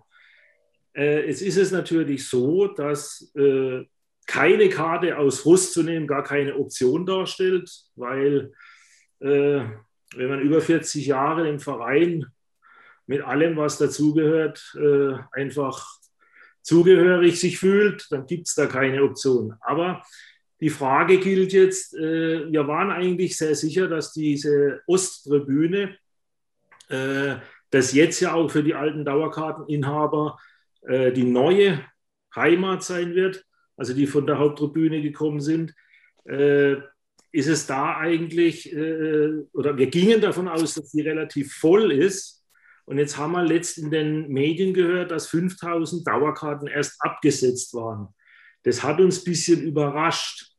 Äh, also ist es nicht so, dass diese Osttribüne mit, sind ja ungefähr 10.000 Plätze. Ich denke doch, die müsste relativ voll sein. Oder ist da noch Potenzial? Oder weil ich denke, die neue Südtribüne, also sprich Gegengerade, die wird ja rappelvoll sein. Davon kann man ja eigentlich ausgehen. Ist da irgendwas noch im Bereich, gerade mit den äh, Karten, die vom freien Markt dann erworben werden können? Oder wie sieht es da aus? Ähm, also vielen Dank für die Ausführungen. Also wenn natürlich die Südtribüne immer rappelvoll ist, da würden wir uns natürlich freuen. Aber 10.000 Stehplätze ist natürlich äh, auch schon jede Menge. Aber wir hoffen dann natürlich, dass das so eintrifft, wie Sie sagen. Äh, generell ist es so, dass wir auf der Osttribüne schon rund äh, 10.000 Plätze haben, aber natürlich ein Teil ist auch 1.500 Stehplätze im linken Bereich oder Gästebereich, die fallen schon mal weg. Und dann haben wir auch noch rund 1000 Plätze momentan geblockt. Da fällt die Presse drunter. Äh, da fallen Ehrenkarten für die, äh, ähm, für die Verbände drunter, aber eben auch ähm, die äh, VIP-Plätze, die jetzt ja provisorisch auf dieser Tribüne untergebracht sind. Die fallen dann irgendwann mal wieder weg, inklusive Presse, weil die ziehen ja wieder um auf die neue Haupttribüne. Aber deswegen ist quasi, steht nicht die volle Auslastung zur Verfügung. Da sind einfach dann Plätze geblockt, die für eben diese Gruppen äh, reserviert werden mussten. Also es gibt quasi dann schon nochmal die Möglichkeit, dass wenn das Stadion endgültig fertig wird, beziehungsweise wenn die Haupttribüne fertig ist, dann werden auf dieser Osttribüne nochmal rund 1000 Plätze frei werden. Das muss man sagen. Das heißt, da gibt es auch nochmal die Möglichkeit, äh, äh, da vielleicht einen Wechsel vorzunehmen. Okay. Aber so leitet sich das her, das ist der Hintergrund. Na gut, das wird natürlich äußerst schwer, denke ich, wenn es sportlich so weiterläuft und äh dann denke ich, wird es schwer. Okay, danke. Bitte. Sebastian Bommes ist an der Reihe. So, ja, vielen Dank. Ähm, ich hätte folgende Frage. Jetzt lernen ja äh, wir Fans quasi ähm, Im Übrigen schöne Grüße aus Düsseldorf. Also es gibt auch Fans, die noch ein bisschen weiter weg wohnen als München. Ja. Ähm, ähm, kurze Frage zum Stadion. Das, wir werden ja jetzt quasi nach und nach äh, das Stadion wachsen sehen. Ähm, wird dann trotzdem quasi oder ist trotzdem geplant, dass der Tag X kommt, dass, dass man sagt, der letzte Bagger ist weg und wir kriegen quasi ein äh, äh, offizielles Eröffnungsspiel? Oder verläuft sich das so, weil das halt nicht quasi äh, zu ist und dann halt komplett geöffnet wird? sondern das ja nach und nach quasi langsam entsteht. Das würde mich einfach interessieren. Und dann gleich noch an den Herrn Kreuzer die Frage, ähm, ähm, ähm ob äh, beim Pipo Heise tatsächlich auch die Bereitschaft besteht oder man sich auch seitens, äh, seitens des Vereins darum bemüht, ähm, dass er quasi in Karlsruhe bleibt. Da haben Sie jetzt eben gar nichts äh, jetzt konkret zugesagt. Mich würde halt auch interessieren, möchte der Spieler grundsätzlich bleiben? Was ich vermuten würde, genau, das würde mich noch interessieren. Vielen Dank. Ja. Gut, ich fange vielleicht mal an, kurz, was den, was den Spieler äh, Philipp Heise und Van Pippo betrifft. Äh, ja, wir sind äh, grundsätzlich mit, mit der Leistung von, äh, von Pippo extrem zufrieden und äh, wir würden uns natürlich auch wünschen, wenn äh, den Pippo auch die kommenden Jahre im, im Wildpark spielt. Äh, wir sind da extrem im Austausch schon sehr lange. es ist natürlich so, dass auch da wie ich vorhin angesprochen habe, er noch einen gültigen Vertrag bei Norwich besitzt. Wir wissen auch, dass Norwich äh, ohne den Spieler plant. Und äh, jetzt geht es einfach nur darum, wie finden wir da eine gemeinsame Lösung, sprich eine Vertragsauflösung in, in Norwich und äh, kommen wir hier finanziell zueinander. Das sind so die, die beiden Eckpunkte. Ich weiß, dass Bibo sehr gerne äh, beim KSC bleiben würde. Er fühlt sich hier richtig wohl. Und es war schon angedacht, dass seine Familie jetzt die nächste Zeit hier runterkommt, aber das geht natürlich nur mit einem gültigen Vertrag. Aber zu Ihrer Frage hin, Philipp Heise, ja, definitiv, wir wollen ihn im Wildpark behalten und der Spieler möchte das auch. Okay, vielen Dank. Sehr gerne. Richtige Antwort. Entschuldigung. Als Düsseldorfer. Ja, ja, genau. Sie wollen ihn doch bei der Fortuna sehen, oder? Nee, nee, nee? Äh, ich bin, äh, ich halte die Fahnen seit 25 Jahren hoch hier und muss mich immer wehren gegen Fortuna, gegen mein Fortuna-Umfeld. genau. Ja. Okay. Boris Gradetschak will sich den Preis für die weiteste Anfahrt in den Wildpark aus Gibraltar abholen, aber hat auch eine Frage, schätze ich. Ja, ich glaube, der Bommes hat ja noch die andere Frage, die würde ich noch mal äh, kurz erläutern zum, zum laufenden Stadionumbau. Also Ziel ist natürlich schon, ähm, ähm, wir haben natürlich im laufenden Betrieb immer, immer mal wieder einzelne Teile, die, die, die, die dann ähm, genutzt werden können. Aber das Ziel ist schon ganz klar, ein dementsprechendes Eröffnungsspiel noch zu machen, das auch dementsprechend zu feiern, weil ich glaube, das ist schon äh, der Meilenstein des KSC in, in, in, seit ganz, ganz langer Zeit und das werden wir schon gebührend feiern. Wir sind auch schon am gucken, gegen wen wir da spielen. Schauen wir gerade äh, und knüpfen schon Kontakte. Hängt natürlich jetzt auch so ein bisschen davon ab, wann das Stadion fertig wird. Wird es am Ende der Saison, wird, werde ich, es zu Mitte, zu Beginn. Aber die Optimalvorstellung wäre eigentlich, dass dann, äh, wenn es vielleicht auch schon voll fertig wäre zum Ende einer Saison, zu den letzten vier, fünf Spielen, dass man es quasi teilweise nutzt, aber dann die, die, die offizielle Eröffnung eigentlich im Vorfeld einer neuen Saison macht. Das ist so die Idealvorstellung von uns und so versuchen wir es natürlich auch dann gemeinsam mit der Stadt und mit dem Bauunternehmer umzusetzen. Aber wir werden da schon ein ordentliches Fest machen und äh, ich glaube, das muss man auch. Wollte ich natürlich nicht unterschlagen. Dann kann es jetzt weitergehen.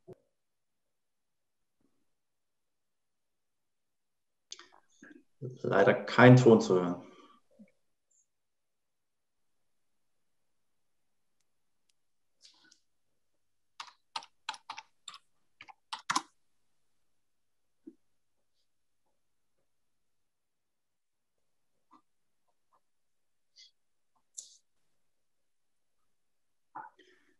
Leider immer noch nicht. Dann stellen wir es hinten an, würde ich sagen, und machen mit Mark Kolotschik weiter, bitte. Ja, danke schön. Ähm, Herr Becker, ich, ich würde einen Punkt nochmal gerne aufnehmen, den Sie gesagt haben bezüglich des Trikot respektive Hauptsponsors. Äh, Sie meinten vorhin, es ist jetzt schon ein bisschen länger her, ähm, dass die Gröner Gruppe noch nicht ähm, ja, präsentiert wurde als Hauptsponsor. Ich würde hier mal ganz kurz wenn Sie mir erlauben, vom 15. Juli die BNN zitieren, äh, mit der Information, dass äh, Gröner sich nach Ablauf des Kleiber-Markisen-Vertrages 2021 die Trikotpost hat zusichern lassen und von August letzten Jahres eine Aussage von Herrn Sigmund Schulze in einem Karlsruher Online-Portal, wo er auch zitiert wird, ähm, dass ähm, ähm, die CG-Gruppe als Hauptsponsor nachrückt, ist schon seit längerem bekannt und auch abzusehen. Ähm, da stellen sich jetzt für mich die Frage, was ist in der Zeit von August bis heute passiert? Ähm, wird also die CG-Gruppe doch nicht der Hauptsponsor werden oder äh, wird er doch als neuer Hauptsponsor präsentiert und ähm, vielleicht dachte man, das wurde vergessen oder worüber, welche Sponsoren sprechen wir denn jetzt hier eigentlich? Also ich wollte natürlich nicht die ganze Spannung nehmen, deswegen würde ich Sie doch auch um noch vier, äh, drei, vier Wochen Geduld äh, bitten. Das klärt sich jetzt in den nächsten drei, vier Wochen dann auch auf äh, was wir da genau machen. Ähm, wir haben zu den Vertragsdetails das jetzt nie im, im Detail auch veröffentlicht und äh, das haben wir auch den pa Partnern so zugesagt. Äh, ähm, das Ziel ist ja, mit beiden Partnern in die neue Saison zu gehen und das sieht es auch ganz gut aus. Und äh, ähm, deswegen ja, würde ich Sie jetzt um Geduld bitten. Äh, das Resultat ist, glaube ich, dann für alle Beteiligten inklusive aller Fans auch sehr positiv dann in Summe. Ähm, deswegen noch die zwei, drei Wochen Geduld haben und äh, äh, dann weiß man auch alles im Detail ganz genau. Und wir werden es auch nochmal dann im Detail kommunizieren, äh, wie das Ganze dann abläuft. Okay, ähm, da darf ich nochmal rückfragen. Also Gibt, gab es jetzt eine, eine Rückabsprache mit der CG-Gruppe im Jahr 2019 äh, als Hauptsponsor dann aufzutreten? Ist das fixiert worden oder äh, waren hier die Informationen, die auch zumindest in der Presse oder auch dann kommuniziert wurden, äh, so nicht richtig oder missverständlich? Und, und äh, zweite Frage, sprechen wir jetzt hier wirklich von neuen Sponsoren oder sprechen wir von den Bekannten in einer anderen Form? Teils, teils würde ich jetzt sagen. Äh, es wird auch neue Sponsoren geben. Äh, ähm, und äh, nicht nur die Bekannten.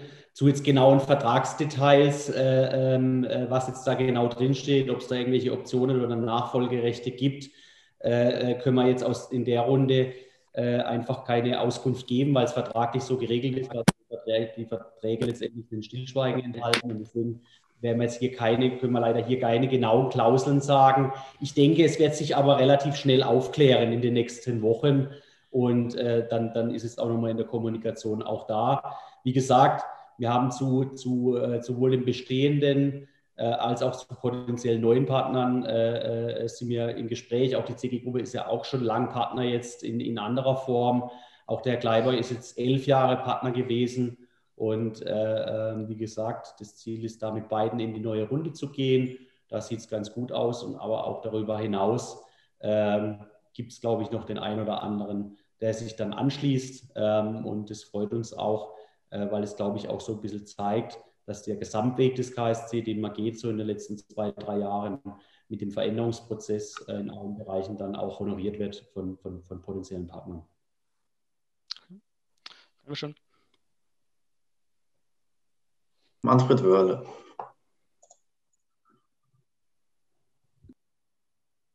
Ja, äh, ich hatte mal zeitweise keinen Ton, aber ich äh, weiß nicht, ob die Frage schon gestellt wurde. Ähm, ich habe noch eine Frage zur Vermarktung. Ähm, und ähm, meine Frage ist, interpretiere ich das richtig, äh, dass der KSC jetzt die Vermarktung in eigener Regie macht? Und wenn dem so ist, welche, ähm, welche Lösung hat man dann mit Lacadere gefunden. Frage angekommen? Ja, habe ich gehört. Äh, okay. Wurde auch noch nicht gestellt, Herr Börle, also passt perfekt. Okay. Äh, keine, keine Doppelung. Ähm, es ist so, Sie haben das richtig gesagt, wir vermarkten ja unsere Werberechte seit und Hospitality-Rechte seit dem 1.4.2000, muss ich aufpassen, 18, meine ich, ist es äh, selbst. Es gab ja dann äh, äh, verschiedene äh, oder zwei Prozesse in den Instanzen, in denen wir äh, verloren haben, ähm, haben aber für uns festgestellt, haben wir ja auch in der letzten Mitgliederversammlung gesagt, dass es unternehmerisch eine richtige Entscheidung war, weil einfach die Ergebnisse, die wir aus dieser Eigenvermarktung erzielt haben, positiv sind. Deswegen äh, ist auch das Ziel weiterhin, äh, ähm, das Ganze eigen zu vermarkten. Ähm, äh, es ist aber auch so, dass es natürlich ein Vertragsverhältnis gibt mit der Firma Sport 5, die ja unser Vermarkter war. Ähm, da sind wir jetzt schon äh, äh, ähm, seit längerem in Gesprächen. Das ist jetzt aber gar nicht negativ, dass das jetzt eine gewisse Zeit lang dauert. Das Ganze ist auch sehr, sehr komplex. Und da versuchen wir eben gemeinsam eine unternehmerische Lösung zu finden für beide Seiten. Die Gespräche sind in einem sehr angenehmen Rahmen, ohne Anwälte, sondern rein auf, auf äh, operativer Geschäftsführerebene. Und äh, da muss man jetzt einfach mal schauen, was die nächsten Wochen, Monate passiert. Ähm, aber auch da sind wir ganz zuverlässig, äh, ganz zuversichtlich insgesamt, dass wir da zu einer, zu einer guten Lösung für beide Seiten auch kommen. Hm. Und dann noch eine Anschlussfrage an den Oliver Kreuzer. Ich denke, denke, äh, der Erfolg unserer Mannschaft war auch ein Erfolg dieses Trainerteams und die machen aus meiner Wahrnehmung einen richtig tollen Job. Gibt es denn schon äh, Überlegungen, ähm, eine vorzeitige Vertragsverlängerung äh, zu machen, ähm, damit wir auch über einen längeren Zeitraum mit diesen beiden planen können? Was ist da im, in Ihren Überlegungen? Äh, gut, ich habe die Frage, glaube ich, vorhin äh, schon beantwortet. Ja, es ist richtig. Christian und sein Trainerteam haben wirklich jetzt äh, in den vergangenen Monaten einen herausragenden Job gemacht und deswegen ist es auch äh, unser Anliegen, den Christian so lange wie möglich hier im Wildpark zu behalten. Christian hat noch ein Jahr Vertrag bis 30.06.22 und äh, natürlich werden wir demnächst die Gespräche mal aufnehmen, über eine Verlängerung reden, aber da haben wir jetzt keinen kein Druck äh, in dem Thema. Christian sieht es auch relativ entspannt. Christian braucht auch keine, keine Absicherung, sondern da ist er relativ ruhig. Aber nochmals, er weiß, dass er hier äh, großes Ansehen genießt, äh, nicht nur meinerseits, auch äh, von meinen Kollegen hier, auch vom, vom gesamten Beirat. Auch, ich glaube, im Umfeld von Karlsruhe weiß jeder, dass er einen richtig guten Job gemacht hat. Und es ist klar unser Ziel, den Christian hier langfristig zu binden. Aber äh, das ist jetzt kein Thema, wo wir jetzt die nächsten 14 Tage angehen müssen. Aber das soll schon irgendwann mal in absehbarer Zeit passieren. Können die ja unter Umständen auch mal Begehrlichkeiten geben von anderen Vereinen? Die Damit ja muss man immer leben. Ja, das gibt es ja, ja. Das gibt's ja auch auf anderem Niveau. Sie sehen ja, was mit Rose oder auch mit Hütter jetzt in Dortmund oder in Frankfurt passiert ist. Das ist ja. Profisport. Ich glaube schon, dass, äh, dass das auch in, in Fußball Deutschland nicht verborgen geblieben ist, was Christian hier für eine richtig gute Arbeit abliefert.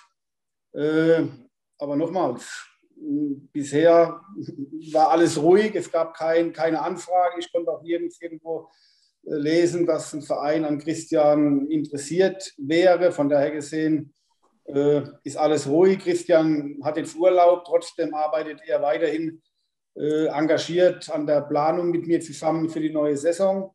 Und von daher gesehen gehe ich davon aus, dass auch Christian bleibt. Okay, danke. Sehr gerne. Dann probieren wir es jetzt nochmal bei Boris Kraletschak. So, hört man mich denn jetzt? Ja. Sehr gut. Vielen Dank, Flo. Ja, guten Abend aus Gibraltar. Ähm, wir haben es vorhin, glaube ich, gehabt. Äh, weiter anreisen. Ähm, da bin ich, glaube ich, mit im Boot. Meine Frage geht an Herrn Michael Becker. Ähm, ich komme gleich zum Punkt. Ähm, inwieweit ist man denn in Sachen Stadionnamen, Namensgebung, Sponsoren und so weiter? Bleibt es denn beim äh, Wildparkstadion oder wird es da ähm, bald einen, einen sogenannten ja, Namensgeber geben? Was ist da so der aktuelle Stand? Also generell ist es ja so, äh, dass die Namensrechte äh, prinzipiell bei der Stadt Karlsruhe liegen. Das ist ja ein Teil äh, der Refinanzierung des Stadions eingeplant.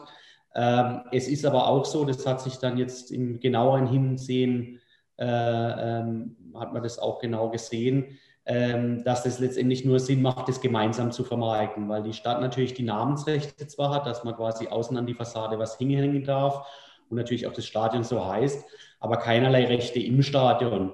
Und potenzieller Namensgeber möchte natürlich auch ähm, äh, irgendwo im Stadion präsent sein, im TV präsent sein. Das ist ja diese, eines der wichtigsten Rechte oder möchte eine Loge haben, um seine Kunden zu erfassen.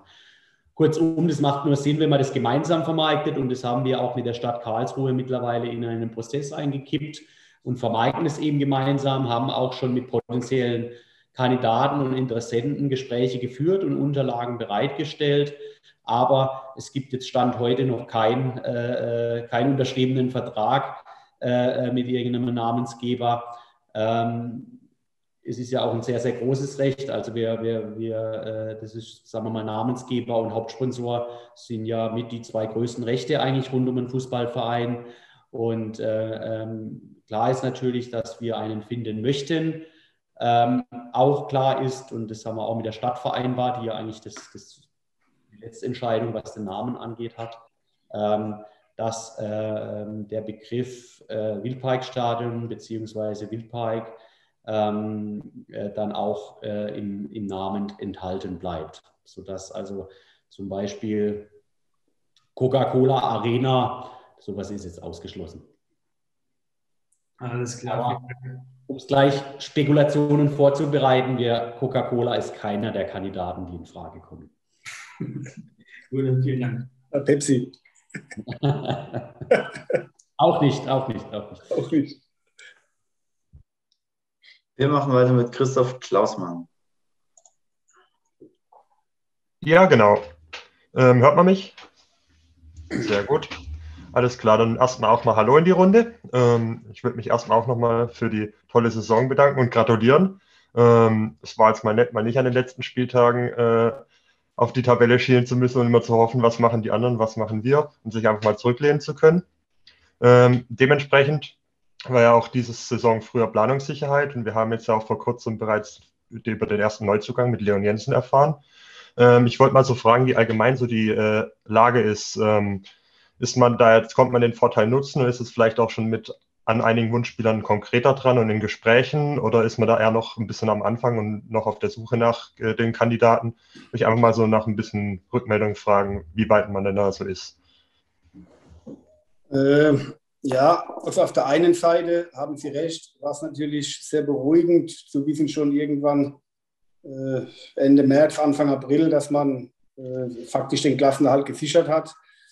Äh, natürlich sind wir schon seit, seit längerer Zeit äh, in, im Austausch, am Eruieren, auf welchen Positionen müssen wir uns verstärken, wo müssen wir uns verändern, mit welchen Spielern wollen wir verlängern, mit welchen Spielern wollen wir nicht verlängern. Das ist ein Prozess, der, ist, der, gilt, oder der, der läuft schon seit, seit einiger Zeit. Und natürlich sind wir auch schon seit einiger Zeit mit Kandidaten im Austausch. Aber auch da muss man sagen, dass der Markt relativ ruhig ist momentan. Sie können beobachten, dass in der gesamten Liga eigentlich momentan oder bis zum heutigen Tag eigentlich wenige, bis auf wenige Ausnahmen, Transfers getätigt wurden. Ich glaube, das liegt auch etwas daran, dass die Vereine natürlich mal erst abchecken müssen, mit welchen Finanzen können sie planen für die kommende Saison. Äh, einerseits, der Herr Beck hat es vorhin angesprochen, wo können wir uns einordnen, was das TV-Geld anbelangt. Auf der anderen Seite ist immer noch das große Fragezeichen, kommende Saison Zuschauer, ja, nein. Das sind alles Dinge, wo die Vereine erstmal klären müssen, wir genauso. Und von daher gesehen äh, ist es relativ ruhig am Transfermarkt. Aber ich kann Sie beruhigen, wir sind seit Wochen, Monaten schon im Austausch mit, mit verschiedenen Kandidaten. Und es ist natürlich wünschenswert, das wünschen wir uns natürlich an allererster Stelle, der Christian Eichner und ich, dass wir da auch jetzt in, in naher Zukunft, sage ich mal, den ein oder anderen Neuzugang auch präsentieren können. Alles klar, vielen Dank. Sehr gerne. Wir machen weiter mit Felix Rittler, bitte. Hallo, nochmal von mir. Ähm, hatte, dann habe ich schon zwei Fragen gestellt, aber ähm, zum Thema Parkhaus für das neue Stadion. Ähm, da stand er auch in, in Medien, ähm, also in der Summe von, von 18 Millionen Euro und zum Beispiel schon in, in, in der BNN, dass, also jetzt kommt ein Zitat, die, die KSC-Betriebsgesellschaft bisher nicht darlegen konnte, wie die drei Ebenen umfassende Garage bezahlt werden soll. Also die Frage geht an Herrn Becker, ich, wahrscheinlich ist es ein leidiges Thema, ähm, aber ähm, gibt es da äh, Gibt es da inzwischen Klarheit, äh, wie, wie das bezahlt werden soll oder also in welchem Zeitraum oder wie, wie da die Lösungen aussehen sollen, oder um, um das zu bezahlen oder was da gebaut werden kann? Also zunächst mal, es war ja so, dass das Parkhaus ähm, ursprünglich in dem Ausschreibungsumfang der Stadt drin war, äh, wo das Stadion ausgeschrieben wurde. Dann gab es ja mehrere Runden mit unterschiedlichen Bietern, und ähm, um damals dann 2016 in den Vergabekorridor zu kommen von 80 Millionen, ähm, wurden diverse Dinge angepasst und unter anderem äh, wurde auch das Parkhaus rausgenommen, ähm, um dem da eine Ersparnis zu realisieren. Und äh, der KSC, ähm, äh, dem wurde dann, äh, wir haben da zugestimmt und haben uns bereit erklärt, äh, das eben mit, mit dem eigenen Investor zu, oder mit dem Investor zu finanzieren. Ähm, da sind wir auch weiterhin dran. Jetzt musste die Stadt aber auf gewissen Themen einfach äh, ähm, schon mal loslegen, bestimmte Beschlüsse fassen, weil sie nämlich natürlich auch rein rechtlich gesehen gewisse Stellplätze nachweisen muss bei Neubauten. Nichtsdestotrotz bleibt das Ziel auch weiterhin von uns, ähm, das Parkhaus zu bauen, auch das mit eigenen finanziellen Mitteln oder mit dem Investor aus, aufzubringen. Ähm, das, da geht es auch um, um Vereinbarkeit der vertraglichen Bedingungen. Wir sind da aber weiterhin dran. Generell um jetzt diese Berichterstattung vielleicht mal rauszugreifen, äh, war die jetzt aus unserer Sicht äh, und auch aus Sicht der Operativen bei der Stadt, mit denen wir sprechen, eigentlich ein bisschen zu kritisch, weil das ist jetzt nicht was, was wir äh, ähm, irgendwie da eine Schuldzuweisung oder sonst was ist untereinander, sondern wir arbeiten konstruktiv seit Monaten da zusammen, um das Thema zu lösen. Die Stadt musste da jetzt einfach die Beschlüsse fassen, um zumindest diese, diese grundlegenden e-, e-, ebenerdigen Stellplätze schaffen, aber weiterhin zu ermöglichen, ein Parkhaus zu bauen. Deswegen sind wir da jetzt momentan noch entspannt. Ähm, weiterhin bleibt das Ziel, das, das Parkhaus zu bauen. Ähm, und äh, sobald die Finanzierung steht, äh, werden wir das auch tun. Aber wie gesagt, da ist jetzt keine, kein Streit oder sowas mit der Stadt Karlsruhe über das Parkhaus in Brand. Im Gegenteil, sondern man arbeitet da gemeinsam an einer Lösung.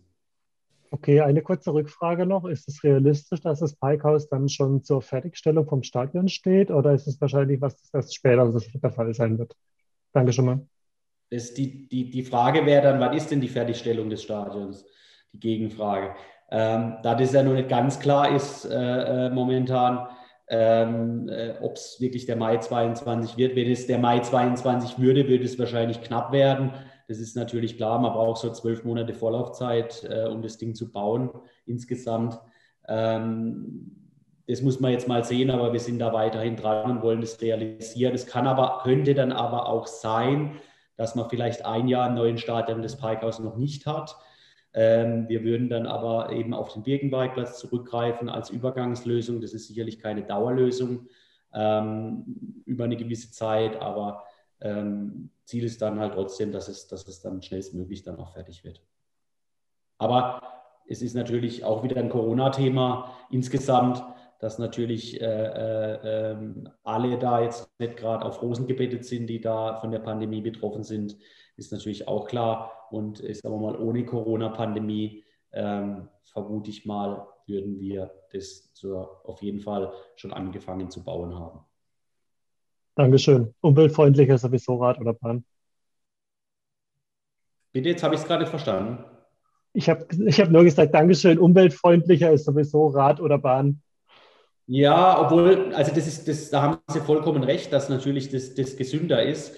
Ähm, wir haben aber in dem ganzen Zug auch nochmal ein, ein, äh, eine Umfrage gemacht. Also es ist ja so, das Parkhaus soll ja quasi für unsere Hospitality-Gäste sein, die natürlich auch dann nachher verantwortlich sind, dass, dass diese extremen Umsatzsteigerungen da realisiert werden können in verschiedensten Bereichen. Und äh, da ist natürlich schon wichtig, dass man dem denen entsprechende Möglichkeiten bieten kann. Und es ist halt auch so, dass, die, dass, der, dass wir, der KSC, ähm, schon auch aktuell noch mehr ein Verein der Region Karlsruhe sind. Also unsere Dauerkarteninhaber, unsere Sponsoren, unsere Personen, die von Sponsoren eingeladen werden, die dafür relevant sind, die kommen eben eher aus 20, 30 Kilometer Umfeld.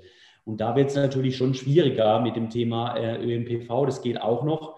Ähm, aber man will ja, kennt man vielleicht, wenn man dann eingeladen wird, will man da vielleicht auch ein bisschen was Besonderes draus machen.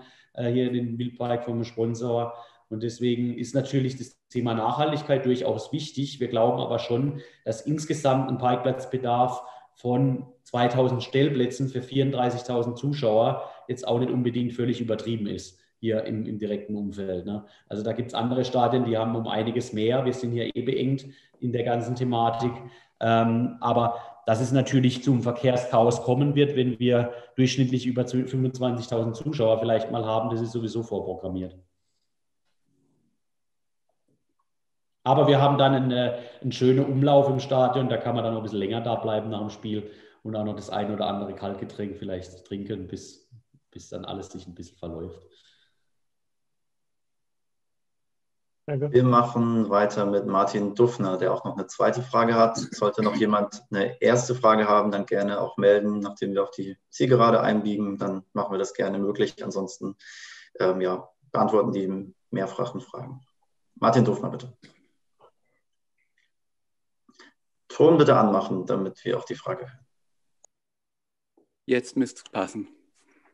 Ich wollte mal einsteigen, auch mit zwei Dingen, die mir positiv aufgefallen sind. Das eine ist, dass wir ähm, vor einem Jahr dem jungen Janis Hanek, der da ja gerade einen frischen Kreuzbandriss erlitten hatte, dass wir den nicht im Regen stehen lassen haben, sondern ihm eine Vertragsverlängerung angeboten haben. Das ist mir sehr positiv aufgefallen. Und das andere auch ähm, das Trikotgeschenk an den Mike Schnatterer am letzten Spieltag. Das war auch eine sehr schöne Geste. Und daran anschließend meine Frage, ähm, wo stehen wir denn im Vergleich zur Konkurrenz bei den Einsatzminuten von Spielern aus dem eigenen Nachwuchs? Äh, gut, ich gehe jetzt mal auf die ersten beiden Themen ein. Klar, mit, mit Janis hat letztes Jahr einen, einen schweren Kreuzbandriss erlitten und äh, ich glaube, das war mehr als normal, dass wir so einen Spieler nicht fallen lassen. Und deswegen haben wir sofort äh, entschieden, er bekommt noch einen Vertrag bei uns, damit er auch dahingehend ein bisschen abgesichert ist und seine Reha äh, über unsere äh, Kanäle machen kann. Also das war wirklich für uns eigentlich normal, dass wir das tun. Äh, auch Marc Schnatterer, klar, ist ein Spieler, hat eine KSC-Jugendvergangenheit. Auch da haben wir uns gedacht, äh, so als kleine Geste, äh, ja, zu seinem Abschied von, von Heidenheim überreichen wir ihm ein, ein KSC-Trikot mit der Anzahl seiner, seiner Spiele äh, und seinem Namen auf einem KSC-Trikot. Was die Einsatzminuten anbelangt, da ist immer mein Finanzkollege stark hinterher. Deswegen, Michael, du kannst es vielleicht genauer sagen. Auf die Minute sogar genau.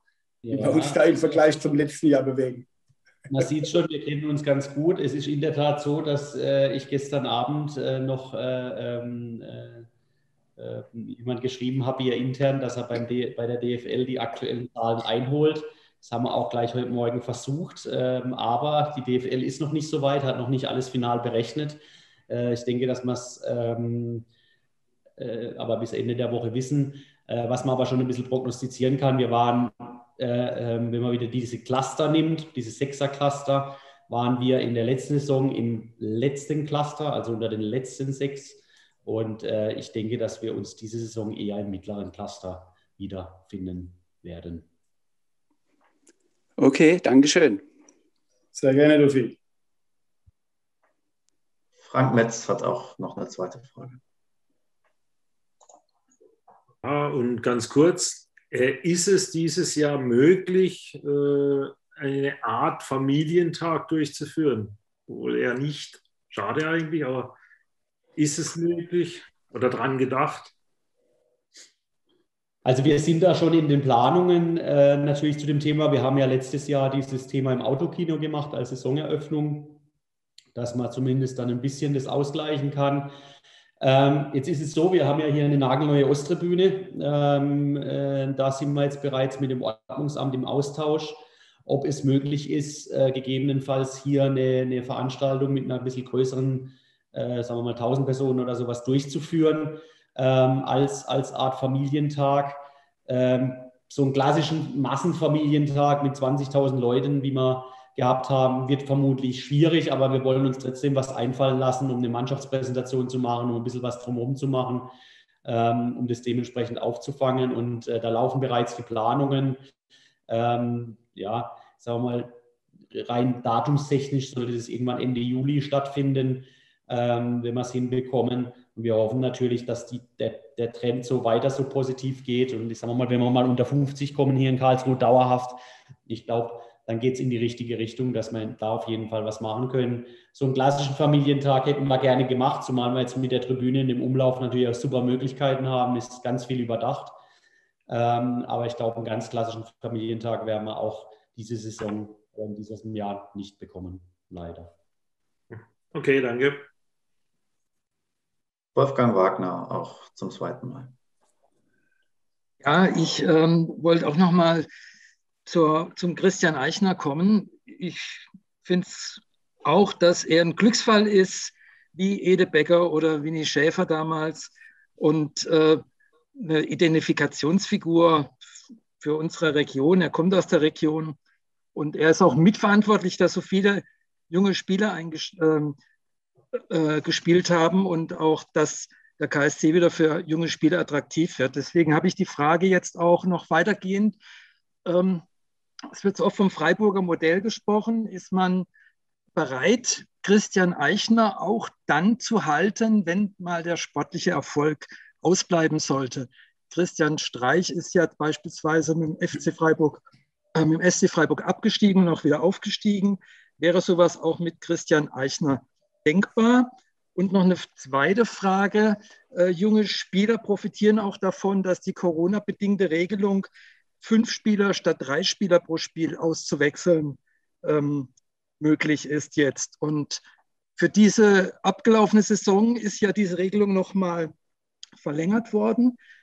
Ist man beim KSC äh, bereit, bei der DFL vielleicht den Antrag zu stellen, sowas zur Dauerregelung zu machen oder ist sowas überhaupt im Gespräch, dass zukünftig fünf statt drei Spieler ausgewechselt werden können? Weil es ist ja wirklich ähm, ein großer Vorteil für junge Spieler, beziehungsweise eigentlich auch für alle Spieler, zu Spielminuten zu kommen. Äh, gut, für Ihre, für Ihre ersten Frage äh, ein klares Ja. Ich glaube schon, dass, äh, damit spreche ich, glaube ich, auch für, für meinen Kollegen Michael Becker, aber auch für, für, die, für den Beirat. Ich kann mir schon vorstellen, dass auch im Falle, ich hoffe, das kommt nie wieder vor, solange ich hier beim KSC bin, aber äh, sollte das so kommen, glaube ich schon, dass äh, man mit einem Christian Eichner auch mal den Weg in die dritte Liga gehen kann. So ein Betriebsunfall kann immer wieder passieren. Das heißt natürlich nicht, dass der Christian Eichner auf einmal ein schlechter Trainer geworden ist. Und äh, ja, wir wollen diesen Weg, wie Sie es gerade beschrieben haben, Freiburg hat es vorgemacht, ne, das äh, kann eine Option sein für uns. Auf der anderen Seite äh, man muss immer schauen, dann, wenn so ein Szenario eintritt, äh, wie verläuft der Saisonverlauf? Es kommt ja darauf an, dann auch, wie man diesen, diesen bitteren Gang wieder eins runter antreten würde. Final kann man so eine Frage nicht beantworten. Aber Stand heute kann ich mir, glaube ich, so was gut vorstellen, auch mit einem Christian Eichner äh, eine Etage tiefer wieder einen, eine Rückkehr anzustreben. Äh, das andere Thema, Sie haben recht, diese, diese fünf Wechsel fand ich äh, sehr spannend. Ich fand es auch sehr gut von der DFL, dass man sowas gemacht hat. Äh, Gerade Vereine wie wir haben davon profitiert, dass man einfach einerseits mehr Spieler wechseln kann aufgrund der, der Belastung. Auf der anderen Seite auch für uns mal jüngeren Spielern auch dann doch die Gelegenheit zu geben, in den Schlussminuten äh, ja, nochmal ihre Klasse unter Beweis zu stellen. Ob das jetzt ein Zukunftsmodell ist, dass die DFL sagt, wir behalten das bei, glaube ich nicht. Es war auch jetzt schon in der, in der Umfrage, ob man es in der Verlängerung dieser Saison beibehält, gab es für und wieder. Ich glaube nicht, dass die DFL, auch wenn wir einen Antrag stellen würden, kann ich mir nicht vorstellen, dass äh, das für die kommende Saison noch gilt. Ich gehe davon aus, Stand heute, dass wir wieder auf, auf drei Einwechselspieler zurückkehren. Schade. Ja, danke. Sehr gerne. Wir machen weiter mit Markus Alferi. Ja, hallo, guten Abend. Ähm, ich wollte einfach nur mal kurz zum ähm, ähm, Philipp Hoffmann nachfragen er hatte ja geäußert, dass, dass er einfach nur möchte, dass ihm was angeboten ähm, ähm, wird. Und es ist einfach jetzt die Frage, ob, ob da jetzt dann in den nächsten Wochen dann genau auf diesen Wunsch eingegangen wird. Also die, die Äußerung, glaube ich, da wurde etwas falsch interpretiert. Äh, nochmals, in, in vielen Gesprächen mit dem Philipp und auch mit seiner Agentur ist es so, dass sich der Philipp hier in Karlsruhe sehr, sehr wohl fühlt. Wie eigentlich noch nie bei einem Verein, wo er vorher war. Ob das in Schalke war, ob das in Brentford war, ob das in Fürth war oder Braunschweig. Philipp Hoffmann hat hier in Karlsruhe eine richtige Heimat gefunden. Das muss man mal ganz klar sagen. Das hat er auch, glaube ich, geäußert. Und ja, Philipp kann sich schon einen Verbleib vorstellen, aber da gibt es auch die andere Seite wenn natürlich ein Verein kommt, der womöglich in der ersten Bundesliga spielt oder vielleicht sogar auch als ambitionierter Zweitligist, der andere Möglichkeiten hat wie wir, auch das Ziel Bundesliga-Aufstieg hat, dann kann er sich natürlich auch einen Wechsel vorstellen. Also es liegt jetzt nicht daran, äh, ob wir mit ihm jetzt, äh, ob wir jetzt ihm ein, ein Vertragsangebot vorgelegt haben, sondern es ist eine Grundsatzentscheidung von ihm. Aber nochmals, ich habe es eingangs erwähnt, unser Ziel ist es natürlich, trotzdem Philipp hier in Karlsruhe zu halten, bestenfalls über sein Vertragsjahr hinaus. Jetzt müssen wir mal schauen, was die nächsten Tage und Wochen so passiert. Äh, wenn es relativ ruhig bleibt, dann wird es schon so sein, dass wir mit Philipp mal etwas tiefer reingehen und ihm mal ja schon ein Angebot vorlegen, um ja die Möglichkeit äh, festzuhalten, dass er vielleicht doch in Karlsruhe bleibt. Aber wie gesagt, das werden die nächsten Tage und Wochen zeigen. Alles klar, vielen Dank. Sehr gerne.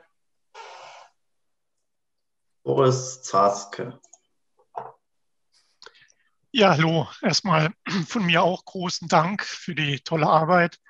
Der sportliche Bereich wurde ja bereits einige Male genannt und die Aussage von Herrn Kreuzer freut mich natürlich, dass man da mit dem erweiterten Trainerteam ein langfristiges Konzept umsetzen will. Aber die tolle Arbeit betrifft ja alle Felder. Also ich denke an die vielen frischen Ideen im Marketing, zuletzt zum Beispiel mit dem Sondertrikot, die Social-Media-Aktivitäten. Da freue ich mich persönlich schon auf die nächsten YouTube-Videos der kommenden Testspiele oder den Newsletter. Ähm, auch die fortschreitende Digitalisierung, und eine durch und durch positive Außendarstellung. Äh, von daher großes Dankeschön wirklich auch an die äh, Verantwortlichen, die hier vor Ort sind. Äh, ich habe eine Frage zum neuen Format Heimspiel Live, ähm, das ja von unserem Stadionsprecher Martin Wacker betrieben wird, welches aus meiner Sicht wirklich toll die Zeit zum Anpfiff ähm, in einer frischen Art überbrückt hat. Gibt es äh, zum einen Zahlen, wie das Format angenommen wurde und eventuell auch Pläne, das Format auch nach Corona weiterzuführen. Eventuell dann ja für Auswärtsspiele, da wir bei den Heimspielen ja hoffentlich bald wieder auch persönlich im Stadion teilnehmen können. Ja, hallo Herr Zaske, zunächst mal äh, vielen, vielen Dank äh, äh, für, äh, für die netten Worte. Das freut uns natürlich, dass es auch in der Form außen ankommt. Äh, wir wachsen ja hier auch, versuchen mitzuwachsen mit den Herausforderungen auf der, in, in, der, in der Geschäftsstelle, in der Verwaltung. Ähm, Sie können sich sicher sein, es kommt auch noch einiges in der nächsten Saison. Also gerade auch zum Trainingsauftakt planen wir schon was. Ähm, und man hat natürlich da durch die digitalen Möglichkeiten einfach viel mehr Dinge, die man umsetzen kann. Ähm, das Thema Heimatspiel live äh, war ja mal so ein Testballon jetzt in der, in der Rückrunde äh, mit den Folgen bei den Heimspielen. Die, Zugriffszahlen lagen so bei 30.000 bis 40.000 pro Folge, was schon sehr hoch ist, ähm, äh, muss man ganz klar sagen. Ähm, das konnten wir auch dann gut vermarkten letztendlich, die, die ganze Nummer und äh, können dieses Geld natürlich jetzt auch wieder zum Teil reinvestieren in eben neue Formate, in neue Möglichkeiten. Ähm, und in diesem Zug ist es auch geplant, diesen Heimat-Talk in einer anderen Form äh, ähm, in der nächsten Saison fortzuführen ob das jetzt bei Auswärtsspielen ist oder vielleicht auch ein, ein, Donnerstagabend und man geht dann vielleicht eher in Konkurrenz zum, zum klassischen Fernsehprogramm, das Programm ist noch nicht ganz klar. Vielleicht machen wir auch einfach mal eine Pilotfolge.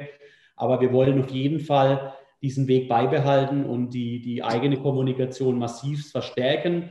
Äh, äh, der Herr Konbrobst äh, äh, mit seiner Abteilung ist, ist da am Wachsen und ist da an vielen Themen dran. Und da kommt noch einiges, was die nächste Saison angeht, auch sehr bald schon zum, zum, zum, zum Trainingsauftakt dann. Und da sollen dann auch diverse Formate nochmal entstehen. Und glaube ich, war ein gutes Format, das Heimat Talk und war auch noch für. Super, vielen lieben Dank. Da freue ich mich natürlich schon drauf. Danke. Wir machen nochmal weiter mit einer Frage im Chat. Aufgrund einer Mikrofonstörung bittet Jens darum, die Frage vorzulesen. Ich lese sie mir vor.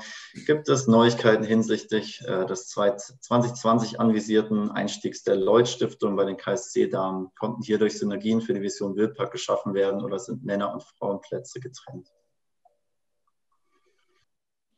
Ja, also wir haben ja mit der, äh, äh mit der Firma Lloyds waren wir in Gesprächen, das ist äh, korrekt, oder mit der Stiftung Lloyds. Ähm, ähm, das äh, ging es ja darum, insbesondere um äh, eine Kooperation mit der KSC Damenabteilung. Ähm, wir haben die Gespräche geführt und äh, haben dann aber äh, gemeinsam entschlossen, äh, dass wir von einer Kooperation absehen äh, möchten. Das hat verschiedene Gründe dann auch gehabt. Nichtsdestotrotz versuchen wir eben dann auch die Damenabteilung mit anderen Möglichkeiten, neue Sponsoren oder auch eine neue Infrastruktur dann äh, weiter zu fördern. Ähm, Holger, wenn du magst, gerne noch äh, erläutern oder ergänzen von, von deiner Seite auch. Ja, gern vielleicht so viel noch in Ergänzung. Ähm, ich glaube, man muss sich nur die Gesellschaft anschauen, anschauen um, um zu erkennen, dass ähm, einfach die, die Gleichbehandlung von Männern und Frauen natürlich auch im Fußball sehr wichtig ist. Und wenn wir als KSC äh, den Anspruch haben, dass wir zur äh, Gesellschaft gehören, und das wollen wir auf jeden Fall, dann gehört einfach dazu, dass wir die Sparten in unserem Club und unter anderem auch die Frauenabteilung weiter unterstützen. Und äh, wir haben das, glaube ich, die letzten zwölf Monate allein schon daran gezeigt, dass wir einfach diesen Sportlerinnen auf unseren Formaten, den digitalen Formaten, eine ganz andere Plattform geboten haben. Und wir versprechen uns davon natürlich auch eine Erhöhung unseres Sponsorings, eine Erhöhung der Möglichkeiten, idealerweise auch, dass dann die Frauen äh, die Chance mal haben, die zweite Bundesliga aufzusteigen.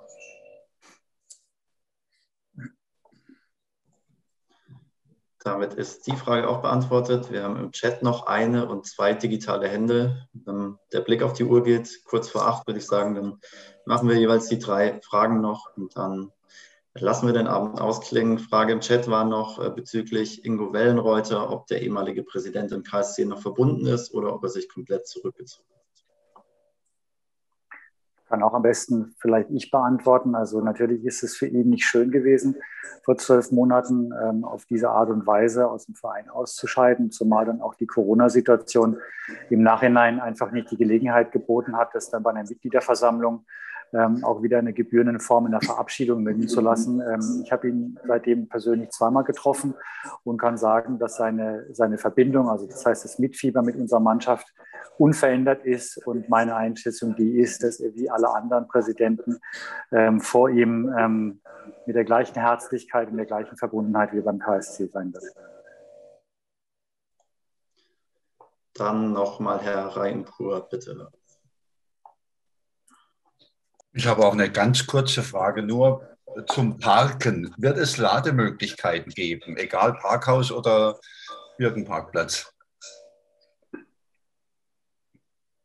Ist eine sehr interessante Frage, die äh, wir uns natürlich auch wünschen. Also wir äh, äh im, im, Rahmen unserer Dachmarke KSC tut gut äh, geht es ja insbesondere auch um die Säule Umwelt, wo wir jetzt ja schon einige Maßnahmen gemacht haben. Vielleicht hat der ein oder andere ja schon den äh, KSC äh, Elektro i3 gesehen, der durch Karlsruhe fährt. Äh, wir haben uns dann ja so eine kleine Ladestation installiert. Äh, wir sind da in Gesprächen mit der Stadt, wünschen uns das natürlich, dass es da eine Lösung gibt, aber derzeit noch keine äh, äh, finale Planung, wie das aussehen soll. Wir haben ja aber auch die Stadtwerke und die ENBW als große Partner noch hier. Äh, ähm, und mit allen dreien äh, versuchen wir da auf jeden Fall eine Lösung hinzubekommen. Und ich denke, wenn man 2022 äh, oder 2023 ein Stadion eröffnet, dann sollte das schon auch dementsprechend ausgestattet sein, dass man sein Fahrzeug da laden kann. Zumal man natürlich ja auch äh, ähm, mit PV und sowas, gerade im Parkhaus kann man das ja wirklich äh, ideal dann wieder miteinander verknüpfen. Und äh, das ist schon ein, ein, auch von uns äh, äh, wollen wir da auf jeden Fall eine Lösung dafür oder ein Angebot. Und dann haben wir abschließend nochmal Marc Kolotzig mit der letzten Frage des Abends. Dankeschön nochmal. Ähm, meine Frage ähm, an Herrn Sigmund Schulze bzw. Herr Becker. Ähm, basiert auf einer Dokumentation, die vor circa sechs Wochen veröffentlicht wurde. Und zwar wurde dort recherchiert, dass im äh, Jugendnachwuchsbereich, äh, vor allem im Grundlagenbereich und im Aufbaubereich, äh, es wohl in der, in der Branche äh, derzeit gang und gäbe ist, dass Jugendtrainer mit 450 Euro bezahlt werden. Ähm, unter anderem war auch bei einem äh, großen bayerischen Fußballverein. Ähm, und das aufgrund der Zeit, die die Trainer investieren, hier äh, nach den Recherchen ganz klar gegen Mindestlohngesetze und auch gegen Sozialstandards verstoßen wird. Ähm, zwei Fragen dazu. Frage 1, wie finden Sie so ein Verhalten von ähm, ja, sportlichen Wettbewerbern? Und äh, Frage Nummer zwei, wie verhält sich der KSC in diesem Zusammenhang? Also Sie meinen die Dokumentation, äh, die im Rahmen der Sportschau, da gibt es ein eigenes genau, Format ja. für Fußballdokumentationen, erschienen ist. Und ähm, müssen auch den Verein jetzt nicht nennen, um den es hauptsächlich ging, aber das war ein Verein, der gerade einen sehr neuen eigenen Campus eröffnet hat. Und an diesen Beispielen wurde das gezeigt. Das würde ich jetzt ehrlich gesagt nicht bewerten wollen, weil wir die Inhalte und Details nicht kennen, auch wenn sie dort in dieser Dokumentation wiedergegeben wurden. Aber ähm, Sie können sicher sein, ähm, dass wir uns ähm, ähm, dass wir uns daran halten, an, an, arbeitsrechtliche Vorschriften und dass wir das nicht tun. Dennoch ist es so, da weiß der Michael Becker im Detail genauer Bescheid, dass natürlich auch bei uns nicht jeder eine hauptamtliche Tätigkeit hat, auch gerade nicht in der Akademie. Und dass wir das genau differenzieren müssen, wer hat eine hauptamtliche Tätigkeit, wer ist beispielsweise vom KIT bei uns im Rahmen seiner studentischen Tätigkeit da, beziehungsweise wer hat einfach auch einen, einen Minijob. Das gibt es auch, allerdings immer im Rahmen der vorhandenen Regeln. Also kann ich vielleicht nur ergänzen, ne? ich sage mal, äh, ähm, da sind wir schon sehr geradlinig unterwegs. Äh, äh, wir haben ja hier ein bisschen die Besonderheit, dass es zwei Gesellschaften sind, das muss man noch äh, bedenken. Wir haben ja alles unterhalb der U17 ist ja im, im EV angesiedelt, äh, die U17 und U19 dann im, äh, ähm, im wirtschaftlichen Geschäftsbetrieb. Ähm, und da ist es auch so, dass natürlich da viel auch nicht mit Minijob passiert, sondern mit Aufwandsentschädigungen, weil wir uns hier im ideellen Bereich befinden. U12, U13, das ist absolut ideeller Bereich. Ähm, und so wird es dann eben äh, gehandelt dann auch. Okay. Dankeschön. Ja, dann Fragen beantwortet, sogar alle Fragen beantwortet in der Zeit, die wir uns vorgestellt haben. Uns bleibt zu sagen, vielen Dank für die Teilnahme ich glaube auch in Zukunft, äh, das Format kann sich etablieren. So einen Steilpass können wir öfter spielen und wollen wir öfter spielen. Vielen Dank für die Teilnahme und bis bald hoffentlich wieder mit Ihnen und euch allen im Stadion natürlich.